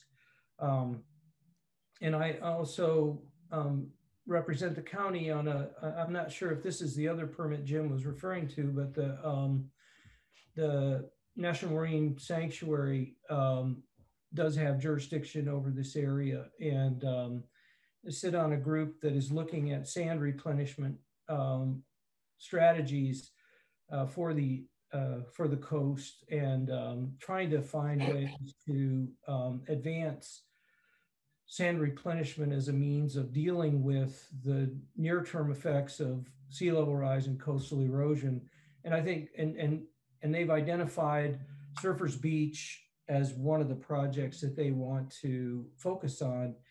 And um, sand replenishment in that area could affect the uh, sand supply um, down shore, including down here. So it could be that the sand, you know, does even maybe go up a little higher in the um, in the summertime when the when the waves replenish the sand versus in the winter when the waves take the sand away and that's a normal coastal process happens all up and down the california coast. It's not unique to this area. Um, so anyway we are committed to incorporating a commitment to a community planning process to look at inland alternatives for this segment of the coastal trail um, in connect the Coastside and um, that's something that we'll be uh, working with our colleagues in Public Works to uh, uh, better refine the proposal as, as we draft the plan, which we hope to have done and published by 1st uh, of January. Thanks, uh, Glenn. That's all I have for you right hey, now. Thank you, Joe. Um, before I go to the public for uh, questions. Um, Glenn, I, can I respond? I want to ask a question to the engineer and, and, and Joe. There's a couple things that were brought up. Can you be okay? Uh, do want to give the public a chance. Go ahead. Specifically regarding the, the drainage behind the uh, proposed shotcrete. Um, I want to say, uh, I think it was Joe that said, uh, you know, that it's hard to uh, understand the, the erosion with the shotcrete, or I'm sorry, the uh, riprap that's been uh, along uh, a lot of the parts south of the jetty. Um, I've been here for 32 years and I've witnessed uh, a number of times over the years, there, there is a lot of erosion behind the riprap, albeit the riprap slows this erosion. But the water, the, the, the, ocean water goes up behind it and eventually slowly uh, erodes behind it. And I think the same thing is going to happen with the uh, shotcrete wall. Um, Robert, you mentioned that the water will flow. Um, uh, you mentioned, I think it was the inland water will flow up to the uh, riprap or the uh, shotcrete wall and then flow out, you know, through the riprap into the sand. Um, clearly, we know that you know the ocean tides up and down, so the, the water is going to be going. Could you please pose your question so they can answer? the ocean. Oh, it's specifically about uh, looking very keenly on improving the drainage behind the riprap wall. So, and, a, a, a, with a, buffering type of a uh, concept so that when the water does, and we know it will, go up behind the wall from the ocean, that it minimizes, um, you, you, know, uh, washing away the soil behind the uh, Shotcrete wall. So mm-hmm. that's that's what I would like to be addressed by uh, the engineer, Robert. Thank, Thank you. you. Could you uh, speak to that? Was it Robert you wanted? Yeah, so the, the proposed design incorporates um, rocks of various sizes to lock themselves in place. It also uh, promotes a series of engineering fabrics that are placed before the rocks are placed to help hold the uh, fine sediment soils in place so that as the water washes in and out, it keeps them in place. And that's not to say that it's going to uh, be perfectly and not require any maintenance over a 40 year period or a 50 year period. There, there probably will be, need to be maintenance at some point in the future. But are you specifically talking about behind the uh, Shotcrete wall? Correct. What, what can you explain the drainage behind that? What you're as far as what you know now is being proposed. What kind of drainage is going to be behind the Shotcrete wall? There currently there is no drainage tile or uh, that's proposed there at this stage of the design. Uh, we can look at that in, in addition. Right now, we're using a series of engineered fabrics to keep the fine sediment in place. Yeah, I don't think that's water. Dan, thank you. So I want to go now to questions from the public. We have Pat Tierney, followed by Neil Day, followed by Ethan and Sid with questions. So Pat Tierney. Yes, thank you. Appreciate you having me. Uh, I'm a landowner uh, in Miramar that is located along one of the proposed routes, that vacant field that you were talking about. Uh, there has been a meeting of landowners in Miramar on this very topic, and 57 of them to date have signed a petition that says one, to replace the Medio Creek Coastal Trail Bridge in its current location as soon as possible. And two, develop a comprehensive plan of Mirada Road and the Coastal Trail Corridor north, south, and east of the bridge um, through uh, a series of meetings. And I can tell you that the landowners on all sides of Alameda, uh, both north and south, and in Miramar have signed the petition opposing that, it would require uh, eminent domain. Uh, this is our home. This is not the coastal trail. Um, second, um, the landowners uh, are, the bridge is feasible in its being to be replaced in its current location. The county, and I've not heard anybody say it isn't feasible to replace it there. Fourth, uh, armoring on in the Medio Creek mouth um, is both feasible and there may be additional alternatives that could reduce it further. Um, everything from natural uh, erosion protection of plants that grow here natively uh, to soil replenishment could significantly reduce any small erosion that happens in Medio at you know inside of Medio Creek at the mouth. Uh, another issue that needs to be talked about is uh, One Shore, the county's group that is uh, designated for planning of coastal erosion issues is interested in getting involved with this planning process. So there are, the landowners are opposed to it uh, going on Alameda. They're clearly supportive of keeping it where it is. It's the quickest, most expedient way to increase coastal access. Um, and so, uh, and there is potentially through one source, one, one shore, a way to have a long-term planning solution developed. So uh, we, uh, as landowners in Miramar, support the bridge being replaced where it is and would like to uh, encourage the council to think beyond uh, their current position. Thank you. Thank you, Pat. Next is Neil Day.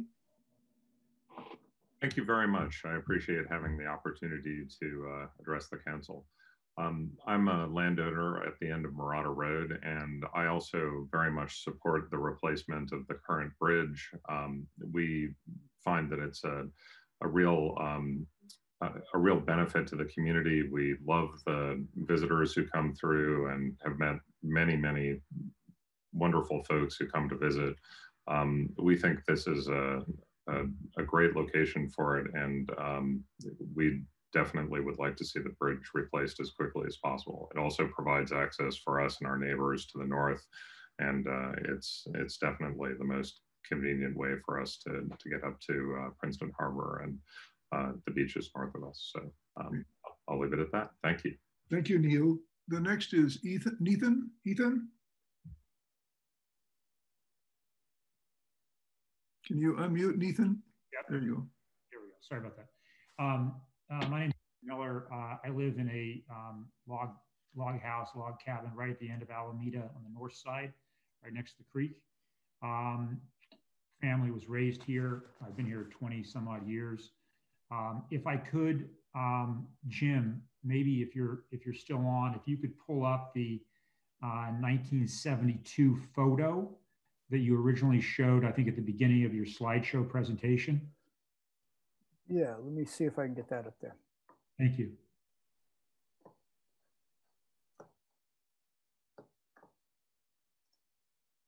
Let's see. Uh-oh. That didn't sound good.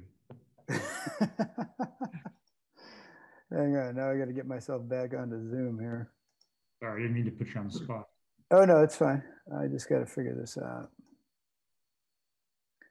Let's see. Uh, why don't you continue with your question and I'll try to, uh, try to Dave, figure this thing out. Dave's got it too. Dave. Oh, here we go. Hey, oh, Here, I got mine had. okay.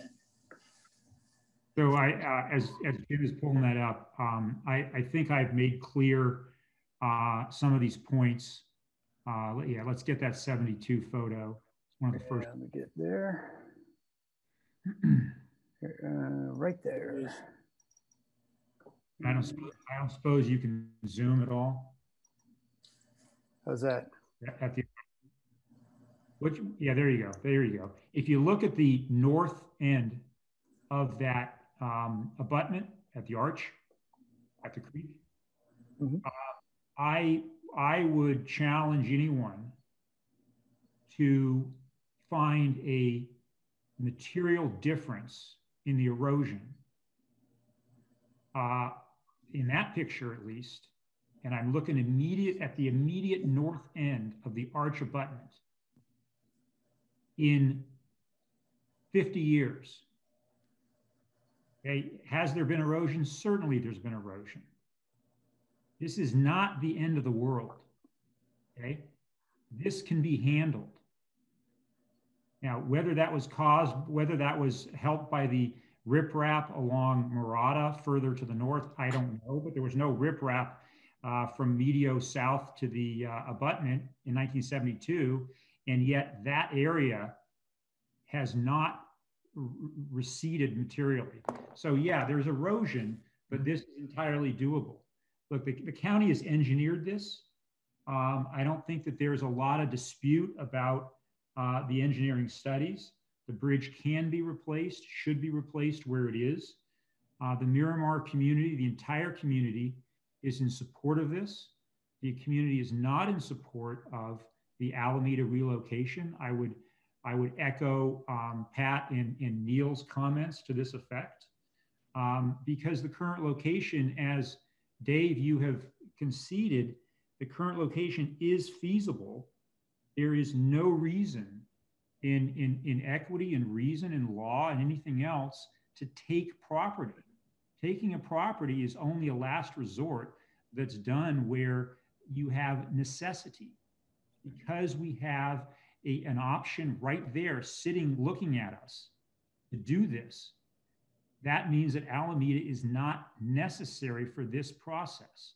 So please do not upend our neighborhood and do this. I would refer you all to our November 18 letter that set forth the many problems both safety and environmental and otherwise, with pushing uh, you know thousands of people down our street. I would I would finally add that uh, the the thousand or twelve hundred people on a Saturday from night from uh, two years ago study will pale in comparison to what we currently see in the COVID era. We have been absolutely inundated with with tourists, uh, and that's fine. We welcome them, but it's like on a magnitude of two or three times that now. Thank you, Ethan. We've reached your limit. Thank you. Okay. Next is Sid. Thank you. Um, I did have originally one question, but now I have two. I'll make it quick. Um, for the engineer, um, I know that everybody wants you to build the bridge back where it was, and I sort of support that because I don't like anybody, any property owners having their land taken away because I'm a realtor. But by the same token, I also would like to know if there's any potential, if you were to build that bridge and it comes in sections, and something really catastrophic happened where you would have to move the bridge before the end of its useful life can it be repurposed and relocated like out to the highway for instance or would you have to go ahead and spend the money and build a whole nother bridge? That's the one question. The second question is um, well it's kind of a statement really. Um, back when jim porter first took over we used to have a department of public works guy named neil cullen and out in seal cove they decided to abandon the uh, Ocean Boulevard and it's continued eroding. In fact, my neighbor now has a huge crack in her foundation and she's going to have to have that repaired at her expense. So, whatever they're talking about on the, um, um, I think the water coming down Mirada Creek, sorry, Medio Creek, um, you might want to listen to them because um, the water and erosion and everything else, we don't have any control over that. That's Mother Nature. But back to my main question was I hope they can repurpose the bridge if need be. Thank okay, you. I got your question. Thanks. Jim, can you respond?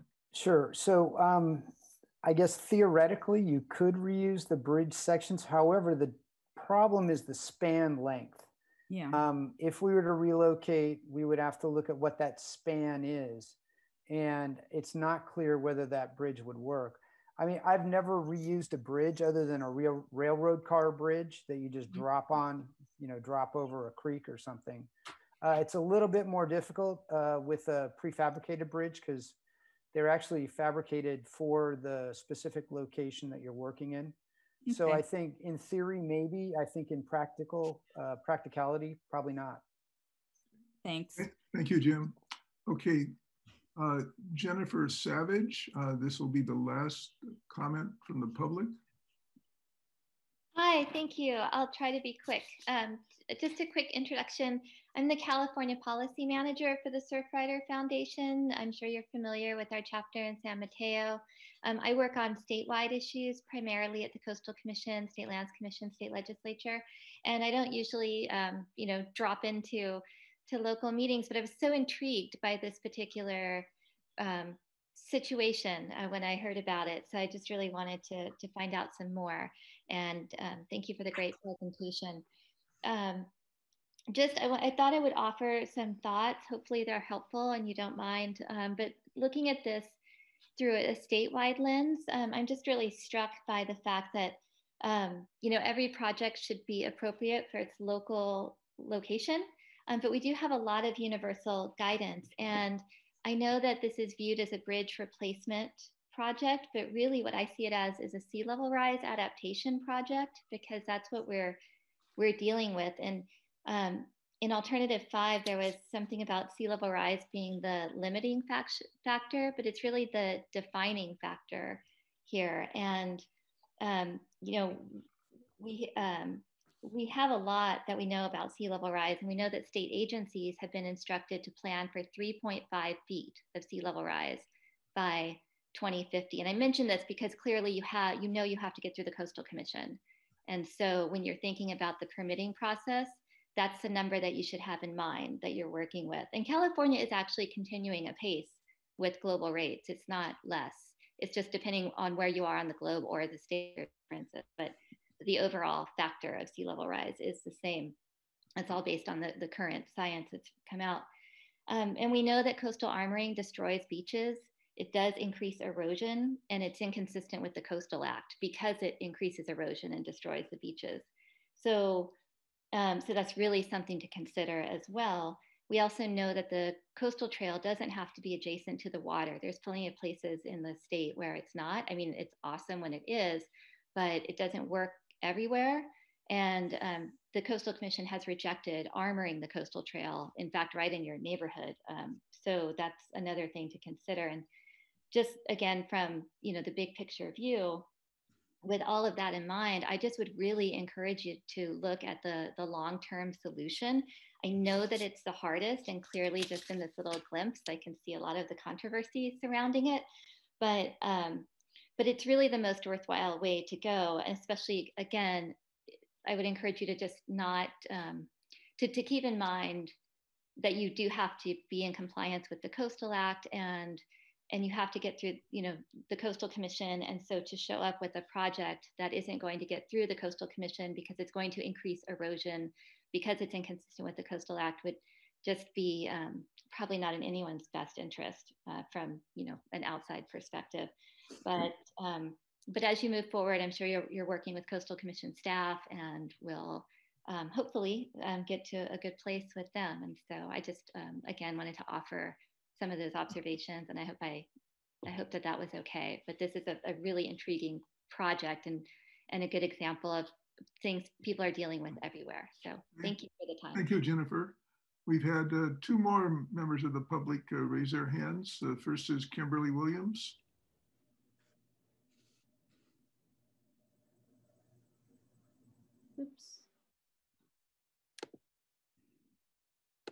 Kimberly, are you there? Um, yes, hi, Lynn, can you hear me? Yes, I can. Okay. I just want to say that um, this is Kimberly Williams and I am a local resident. I live on the Coastside. I have lived here for um, going on almost 14 years now. And I'm also a representative of the local Surfrider chapter. Um, so I want to agree with everything that Dave Olson and several of the other of the council members said in the beginning. I think there are several concerns here in, in from going from the first presentation that um, the supervisor staff made at, at an earlier meeting and what they're presenting now. Um, I think that we need to have all of our questions answered and we actually need a coastal erosion expert to educate us on this issue because there are a lot of misconceptions here and I'm hearing a lot of different things coming from everyone um, I do not think, with all due respect to Supervisor Horsley, that you are a coastal erosion expert, and I'm not sure what information you hope to give to everybody on your walk tomorrow, but I would be interested in joining that um, to hear what you have to say. Um, I sympathize with the neighbors who have spoken up, and Mr. Tierney, I really appreciate your comments. I think that it would be helpful to look at more natural solutions to the creek because it is has been shown, and I, I heard from another expert, I think after the last meeting, that um, armoring inside the creek mouth will actually increase the erosion beyond that into the creek bed, thereby endangering the buildings beyond it behind the bridge. So that's another thing to consider.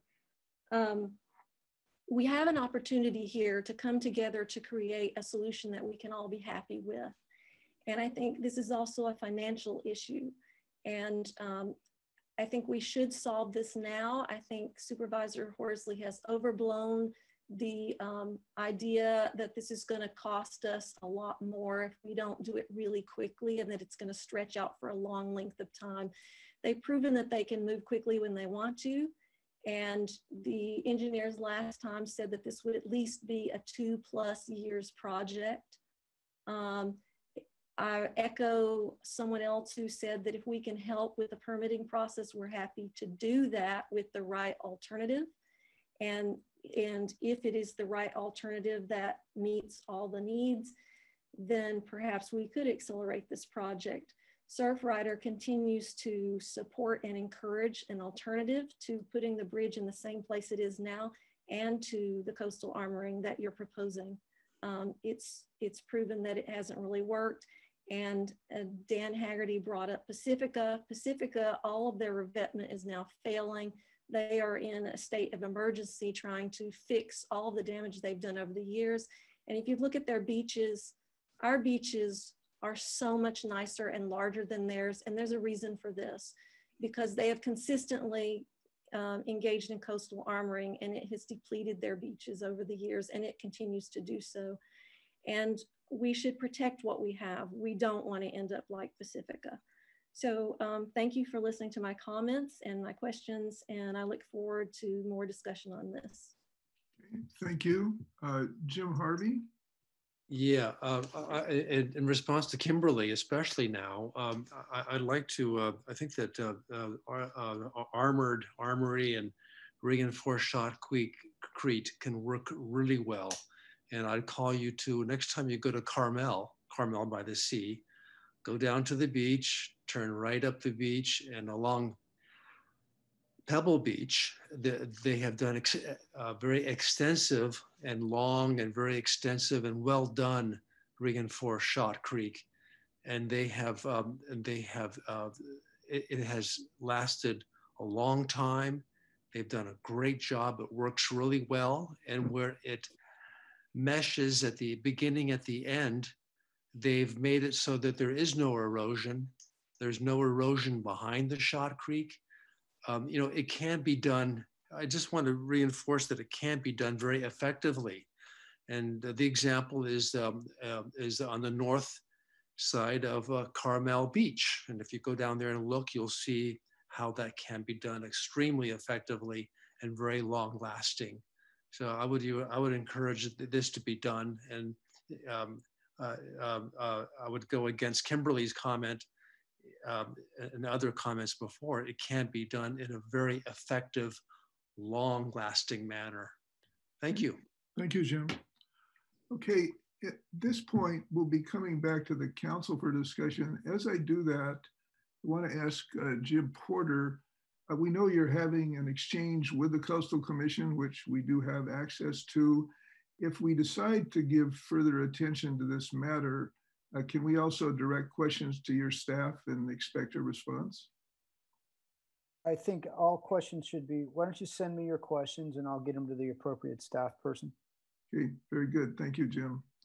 Okay, uh, David, it's going to go back to the council and the roundtable. Did you have a separate comment you wanted to make first? No, I'll wait for the roundtable. Okay, thank you. Um, okay. Um, well, before, you, before you do that, Len, I'm sure, Don. I'm going to sign off, uh, but I, I, just want to confirm with Gregg that I'm going to see you tomorrow. Okay, one o'clock. Okay. Uh, and I think I, there's going to be a crowd, Don. Bring donuts. Bring your mask. Does that mean it's not possible to reschedule so that I can join also? I'm very interested. We're trying to avoid you, Dan. Uh, okay, so council, can I have an answer, please, Len? Uh, yeah, what, did, what did I do? Uh, uh, can I, um, let me, uh, let me, darn, uh, how about if I give you, uh, why don't you call my office? We can work this out between Gregg and Dan tomorrow. Uh, work out some times that work for both of you and let me know. And After 4 p.m.? It's pretty much a dark. Tomorrow? Look, Dan, Dan and Gregg, please take this offline with Don and we'll can communicate it to other people who want to. Well, Len, I, I don't think we could take it offline because Kimberly and others plan on attending. I've already got I, Michelle. I think we had a number of people who wanted to do that. So I would be inclined. Well, I think we should do one tomorrow and then see if we can't okay. get another session with Dan. All right, we'll do okay. see, you, okay. see you at one o'clock. Covered. Thank you. Is that okay with you, Dan? That's fine. I'll I'll um I'll get it supervisor. Uh, I'll I'll work Great. something. We'll work something out with you, Dan. Okay. Thank you. Thanks a lot. Okay, so in coming back to the council, really what we have uh, on the October 28th passed a letter of comment Uh, we've taken in a lot of input, diverse input tonight. And the question for comment in the council roundtable at the end is, do you feel the council should stand on what's been done to date? That is a letter on the 28th, or would you like to have further discussion and consider things? So um, I'm going to go around in reverse order from before. So that means the first person up is Michelle. Okay, put me in a tough spot here. Um, I I would be open to, given the new information that we've heard tonight, I would be open to reconsidering uh, the letter that we wrote previously. Um, okay. What that letter would contain entail exactly, I'm not I'm not sure at this point. I'd love to hear from the rest of the council, but I think the main thing on my mind is the length of time that it would take to replace the bridge, uh, to move the bridge to a new location versus uh, the you know rebuilding it in its existing location. So the discrepancy between those time periods um, are top of mind for me. Um, and then the other thing, I think that there's still a piece of information that I feel like is is lacking, and Kimberly Williams brought it up. Is really a lot. I hear a lot of opinions on what erosion may occur, but I do think an having someone who's an expert in that area come to a future meeting and speak specifically on that, you know, for that location. And it would be helpful to, to hear about that for even the broader mid coast. Um, that sort of information is what I feel like is still lacking. Okay, thanks, Michelle. Next up is Dan. Yeah, I'll agree with Michelle. I think that, uh, you know, there's some lacking information as far as the erosion. Um, clearly, uh, as one of the other um, members of the community mentioned, uh, the problems up in Pacifica, which I uh, brought up. Um, I think erode. Um, I think drainage is a, is a big issue. Um, I'd like uh, I'd like Robert. Uh, I'd like to um, understand from Robert. I, I, I clearly don't claim to be an expert, although I've been watching a lot over the years. And um, I understand that, that drainage is a, is a big issue um, and it's very important. So um, I'd like to, um, you know, I, I, definitely would like to learn more from experts, uh, as Michelle said, you know, uh, specifically regarding the drainage behind the, the pros and cons of uh, and how um, you can improve drainage uh, so that the soil behind the uh, shotcrete wall does not um, eventually uh, fail like has happened in Pacifica. Okay, thank you, Dan. Jill, you're next up. Thanks, Len. Um, I, I had a question previously that wasn't answered and it had to do with the prefab bridge.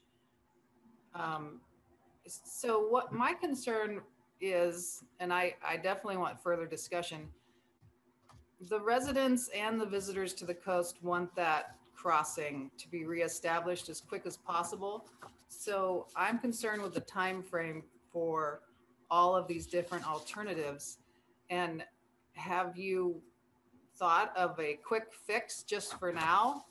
Um, or is that just not going to work? And so we have to wait. So there is no quick fix. Any any deviation from the project has to be re-permitted. It's not a matter of the design or that sort of thing. You have to start over with a new environmental review, new sets of permits, and then you get into design. So there, unfortunately, there is no quick fix here with um, with the regulatory environment that exists in California. Okay. So I've been on many projects where they have emergency repairs, and one of them actually is very similar to yours at Moccasin, if you know that city, where they did Shot Creek to correct to uh, um, protect a uh, CD, CDFW fish hatchery, and it's huge, but it works great. But they, it was an emergency repair, and they broke it up into pieces, and they they permitted each piece yeah. separately so that they could just get going.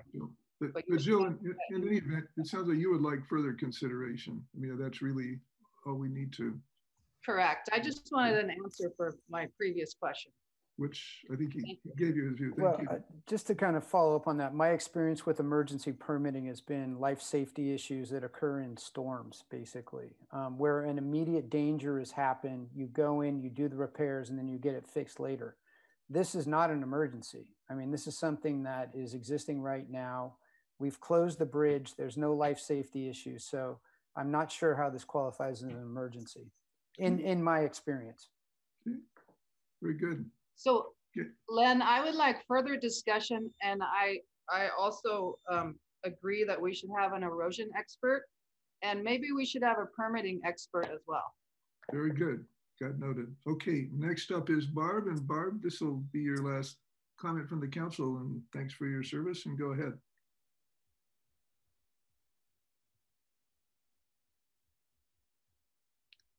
Barb still here? I do not see her actually. Okay, go to Greg. I, I think it's clear the county's willing to spend the money twice. Um, the visitors and the residents want the bridge replaced in place, and there's a priority on the, uh, the benefits from that access. My concern is coming up with something that the Coastal Commission is going to shoot down anyway. And the people from Surfrider have raised some points. I would like to study those. I'd like to hear more about the erosion. And I've asked uh, Jim Harvey, Harvey if he can provide a link to that project down in Carmel. I'd, I'd just like to get the facts to know that we're not, you know, going the wrong direction or going to get stymied, that we can go forward with this if, if in fact we decide we're going to spend the money twice. Okay. So that's more study. Okay. Uh, let's see, uh, Claire?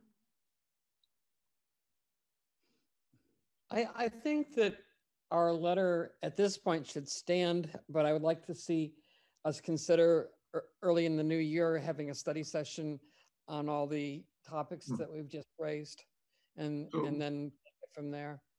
Well, the, the study session implies that we're having it because we want to make more comments, or do you think we should just do something for information, but you don't want to see a change to the position identified? I don't want to do that now because it sounds like what we're doing is raising more questions than we're answering. Right. And I think any new comments that we would make would be based on inadequate information. No, we're not. We're only saying we want to meet again on the subject from what we know now. That's. Well, as I just said, I'd like to have a, a, a, a opportunity to get more information in a systematized way. Very good. Okay, Dave.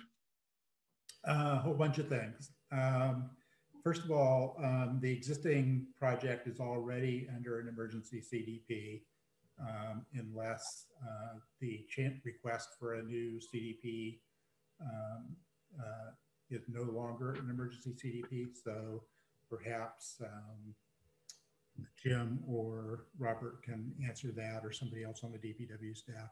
Um, in answer to something Robert said, uh, in, in, answer to the first round of council questions, I would not consider 175 linear feet of armoring as a small amount of armoring.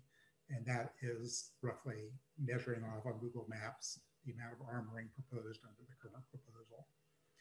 Um, finally, or not finally, but next, um, in June of this year, um, in response to a permit in Pacifica, Coastal Commission staff issued a statement saying that um, they, I mean, partly based on the Casa Mira uh, ruling back in November of 2019, that um, existing armoring is no justification for continuing armoring and extending it. Um, that such a justification is uh, tantamount to saying that it's fine to armor the entire coast, um, paraphrasing their words. So I would very much hope Coastal Commission staff is going to raise massive questions about the amount of armoring here. And finally, um, I think there's an alternative six. I raised it um, in the last paragraph of the letter that we sent to DPW uh, last time which is a longer version of the bridge that moves the bridge abutments back and does not require um, additional armoring because the abutments will be far enough back that they don't require all that armoring. Um, so I note that in tonight's presentation, that was completely ignored yet again. Um, I see no reason to bring this back to the council until we have new information. DPW and their staff and their engineers spoke at great length this evening and presented absolutely no new information whatsoever. Thank you, Dave.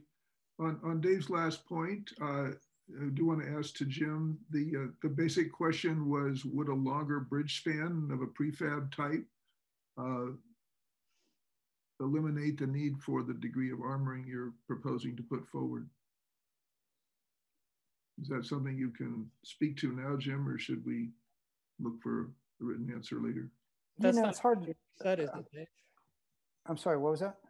I don't think that's what Dave was saying, is it? No, what Dave is saying is, could we put the abutments back on either side to uh, remove the armoring, let the erosion occur, and um, preserve the bridge? Uh, I'll defer to Robert, but I do know we have looked on the north side of the bridge. If we put the abutments and the bridge back further, it's going to cut off access to that property. Right on the north side of the bridge, there's a residential property in there. So there's a limitation on how far back that bridge can be moved because we still have to preserve access to that property. Robert, do you have a comment? Yes, thank you. So yes, the, the point of actually preserving the bridge in place is really saving the foundations. The foundations are one of the most significantly large costs of any pedestrian bridge. So it is plausible to shift the foundation on the south side to the south. Um, on the north side, it's going to be a bit tricky because we will block property access, as well as on the north side, there is the prob- potential for additional bluff erosion that would remove um, the abutment on that side. So um, we, we believe that this option is the, the most preferential option. Okay. So does that mean you, you studied it adequately and eliminated it or we, we have looked at it. It's on the, the premise that we we are seeking, and the idea is to build a bridge back in place at the least possible cost. And since foundations are very, very, very expensive, this is really a cost-effective way of, of getting a bridge in place without having to do a lot of expensive underground work. Okay, okay. thank you. So at this point, uh, we've taken in our comment on item six on the agenda. We will pick up this issue again. Um, I want to thank the county for the time they spent uh, in the meeting today. Okay. Thanks very much. Okay. At this point, the item A, 4A is closed and we're going to move to 4B, which is the election of officers for the council. So at this point, uh, we'll begin the elections. We have four offices to fill chair, vice chair, secretary, and treasurer. And so I will open first the uh, nominations for chair.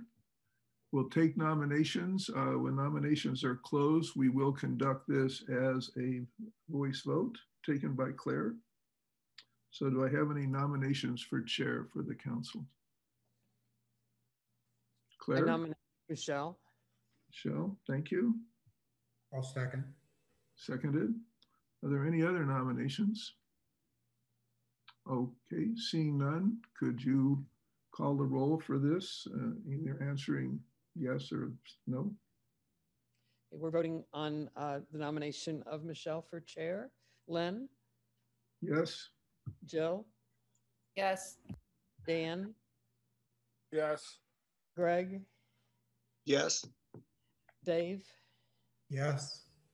I vote yes. Uh, I don't know if Michelle, you can vote too. Sure, I'll take it. Thanks, guys. Very good. Congratulations. Okay. Thank you. Okay. Our next position uh, is the vice chair. Uh, for this position, I was going to nominate Claire Toutant. I will second that. Thank you. Any other nominations? Okay. Claire, could you call the roll? Okay, uh, Len, Yes. Greg, Yes. Jill, Yes. Dan, Yes. Dave, Yes. Michelle, Yes. Thank you. Okay. Okay, the next position to fill is secretary, open for nominations. I'll nominate Len Erickson. Second. Seconded. Any other nominations? Okay, could you call the roll? Uh, Len, I'll assume that you're voting for yourself, so you can, Sure, or why not? abstaining. Why not? Greg? Yes. Greg? Jill? Yes. Dan? Yes. Yes. Dave? Yes. I vote yes. Michelle? Yes. Okay, Thank you. Okay, for the final position treasurer, I'll return the favor and nominate Dave Olson for treasurer. I'll second. Thank you. Any other nominations? Okay, Clara, the roll? Lynn? Yes. Greg? Yeah. Jill? Yes. Dan? Yes. Um, Dave? Yes. Uh, I vote yes. Michelle? Yes. Okay. Okay, very good. That closes our elections. We now have Michelle as our chair, Claire as vice chair, secretary, myself, and Dave as treasurer. With this, it's uh, my pleasure to hand over the gavel, this uh, pen to Michelle, and she'll conduct the rest of the meeting. Great. Thank you so much. Okay, so item five is council activity. Um, let's see, do we have anyone on the council who wants to report on any activity? Yes, I would like to. Okay, Dan? Um, regarding the lighting at the new firehouse, um, there has been uh, some discussion between community members and um, Jonathan Cox. Uh, the concern is the uh, bright light, um, bright white light, which uh, does not match the uh, community lighting, uh, street lighting. Um, it, it stands out. I've heard uh, some neighbors immediately in the area that it says it lights up like a football field. Um, so I will say that the uh, there was a response from the fire district that says that uh, they need to have bright light to distinguish as the truck comes in whether there's blood, oil, or dirt on the uh, on the vehicle. Um, I think that uh, there should be some further discussion uh, with the MCC regarding this issue. Uh, the community has taken great pains in the past to see that the uh, night sky and the uh, ocean views, uh, lighting is very important to the uh, members of the community. Um, and so I just wanted to uh, mention that there was that discussion that I was involved with. Um, and uh, hope that we can have an agenda item in the future regarding this issue. Thanks, Dan. Let's talk offline about that. Maybe you and I can connect and see if uh, if it warrants an agenda item. Um, anyone else? I, I have a question. Uh, I listened to part of the planning commission meeting today and I heard both Dan and Jill speak. Uh, but I don't know what the results were on any of the, uh, there are at least three uh, mid-coast issues on the agenda and I'm wondering if anybody knows how they all turned out. The RV park was approved uh, with something in the Half Moon Bay review about it. With conditions. How about the Chevron station? Anybody know about that? I listened, but they, oh, am I muted? No, I did listen. They were going back and forth. Um, apparently, Keaton or Hands project planner wanted to, you know, minimize the, uh, what do you call it, planters. And they wanted to keep both of the openings out onto Highway 1. And they even got John Riddell from the fire department to kind of side with them on that. But I brought up the fact that that damn chowder truck is there right next to the fire hydrant all the time on the weekends. And they might put the planters back where you guys wanted them. and cut back on that parking space, but I don't know if they mandated it. I hate to say, I can't remember what they ended up deciding. I think it's going back to being designed a little bit more. Thanks, That- That's okay, we'll. That's fine. It's my understanding that there, uh, the two planters, there will be two planters, uh, placed and all of the access will remain open and there will be certain signs, uh, that will be put up uh, as far as right turn only to try to minimize the, uh, cross, uh, traffic coming out of the, uh, gas station, um, northbound. Thank you. I forgot about that. All right. Okay. Anyone else on the council have anything to report?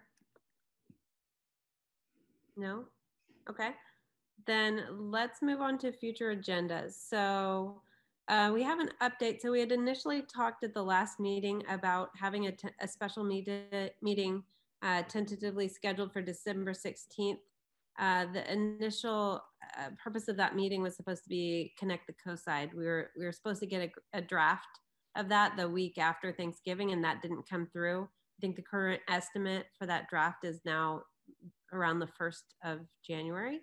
Um, so we wanted, I wanted to propose um, because we did all um, at least tentatively set aside uh, that time. Uh, and we have a lot to get done. You know, we have um, coming up in January two pretty substantial meetings, potentially one about Connect the Coastside on the 13th and one about the child care ordinance on the 27th. We also have the potentially some more discussion on Medio Bridge, potentially the fire station lighting, and we have a retreat to be planned.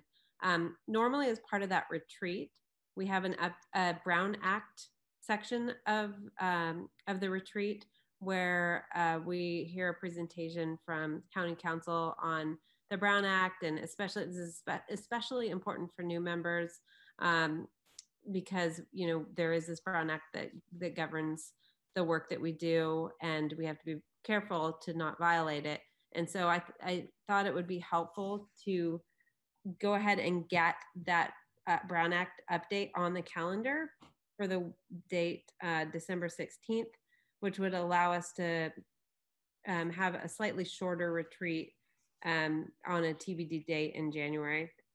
So I wanted to gauge um, the, you know, the option here of keeping that meeting. It would be probably just from seven to eight or potentially up until 8.30, but it'd be a shorter meeting. It'd be a special meeting just focused on the Brown Act um, on December 16th, next Wednesday. And that way we can kind of get that out of the way um, before we adjourn for the holidays and then come back on the 13th. Um, so can we go around the council and get everyone's take on that? Um, let's start with Claire. Uh, I'm not crazy about having an extra meeting, but I, since we do have new people, it might not be a bad idea. But if we do it, I'd sort of like to add a brief um, overview of Robert's Rules of Orders to order as well, because I think it might be useful to to put in uh, some sort of framework exactly how we want to be conducting the meetings and what the rules can are supposed to be. That, that might be useful. I think you mean Rosenberg's Rules of Orders, which is what Whoever. yeah, see how much we need it. yeah, I agree. That would be helpful information. Whether we were able to do, we'll have to figure out who gives that session and whether that would happen at this this session on the 16th or potentially at the retreat. But I totally agree. We could all. I think it'd be good for the community to hear what the rules are too, because then we'd all be on the same page. totally. Okay, um, Dave, what's your take on that? I really, really do not want another meeting this month. Uh, Okay. If we have it, can you attend? I may be able to make it. I don't know. Okay. And Dan?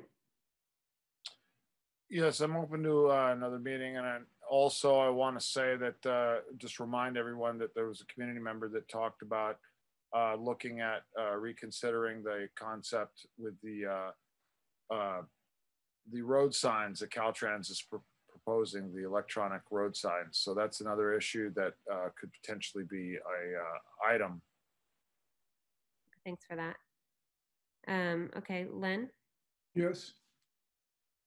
uh, Jill, Um, I think that would be valuable and I uh, understand Dave's probably knows all of this backwards and forwards, but it would, it would, would help me. And um, if it was recorded, then perhaps Dave could just take a look at it later if he wants. It's not a question of whether we do it. It's just a question of whether we do it at a special meeting or whether we do it in a retreat the way we normally do. right. Okay. Normally the retreat lasts, I would say like four hours. Um, so this in theory would shorten it, um, because we'll have to, we'll do it on a virtual meeting and that, that would be a long time to be on a virtual meeting. So the idea is having this separate, I know it does require an extra commitment from everyone in terms of a date, but it would shorten the retreat that we have later in January or February, or hopefully January. Um, okay, Greg. Are you available? Well, I want to learn. I want to learn, so I'm in favor of having that meeting. Um, I would hope Dave could skip it because he already knows that stuff. Uh, and I think it's important. I think we're going to have a very long retreat. Yeah. There's a lot of issues that we face. I really want to get this out of the way. Maybe only the newbies have to go. I don't know. We should all go, except for Dave.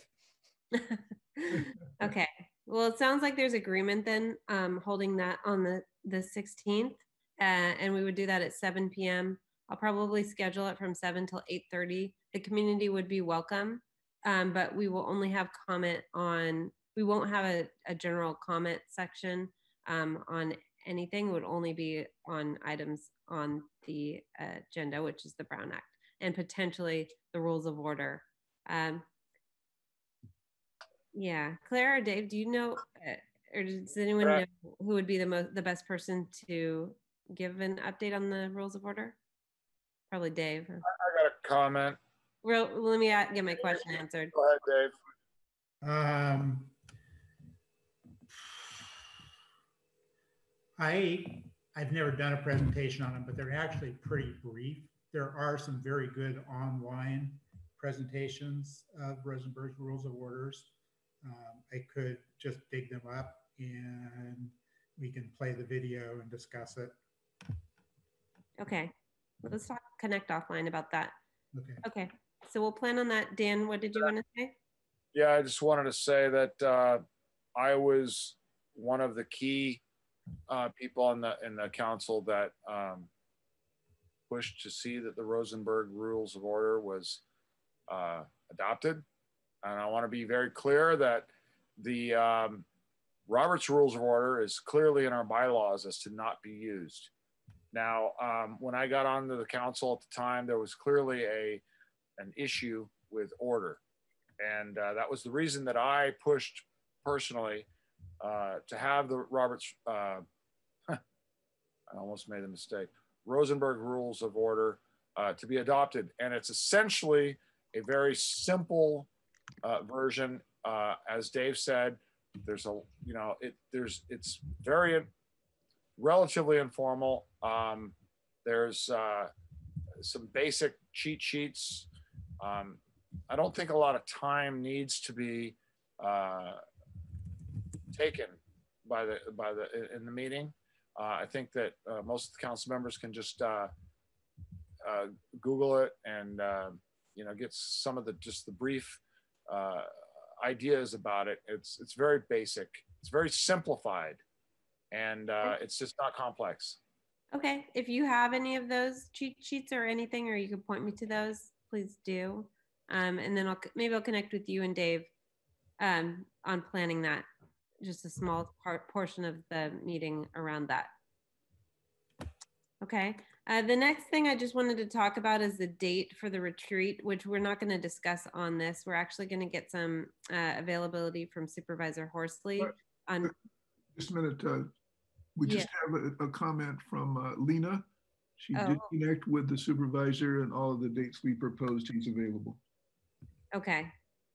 Um, so I, the dates that we are looking at, I'll just throw it out there. And then I think it makes sense to do a doodle poll or do this not on uh, the, the Zoom meeting. So we'll do this offline basically. Uh, but the dates that we are looking at? Actually, Eric, um, Len, do you have those handy Yeah. right now? The dates were uh, on Wednesday, the Wednesday before our first meeting, that's on the 6th. And then on the following weekend, the 9th, uh, on the 6th, it would be from uh, 6 to 9. On the weekend, there would be Saturday, two options. That's Saturday the 9th, uh, either from uh, 9 to noon or 1 to 4. And then on the following Saturday, the 16th, again, morning uh, 9 to noon or afternoon 1 to 4. So there are five options. Okay, great. I'm going to send out a doodle poll uh, via email to everyone on the council to decide what date would work for everyone. Hopefully one of those options will work for everyone. If not, we can consider additional options. Okay. Um, Was one of those the January 9th? I'm sorry, they got rattled off so fast. I didn't. Yes, it was. Okay, I cannot make that date. I'm going to memorial service. okay. So yeah, that leaves the 6th or the 16th. We might have to put in um, other options. Just uh, we can, yeah, but let's do that. We'll throw out a couple other options. We'll get some uh, additional availability from Supervisor Horsley and we'll put that into a doodle poll to schedule in the next week or so. Okay. Okay. Um, that is it for the agenda. I think I, at this point, I need a motion to adjourn. Move to adjourn. Second. I Okay. Thank you so much, everyone. Um, we'll see you next week, uh, the 16th at 7 p.m. Thank you, Michelle.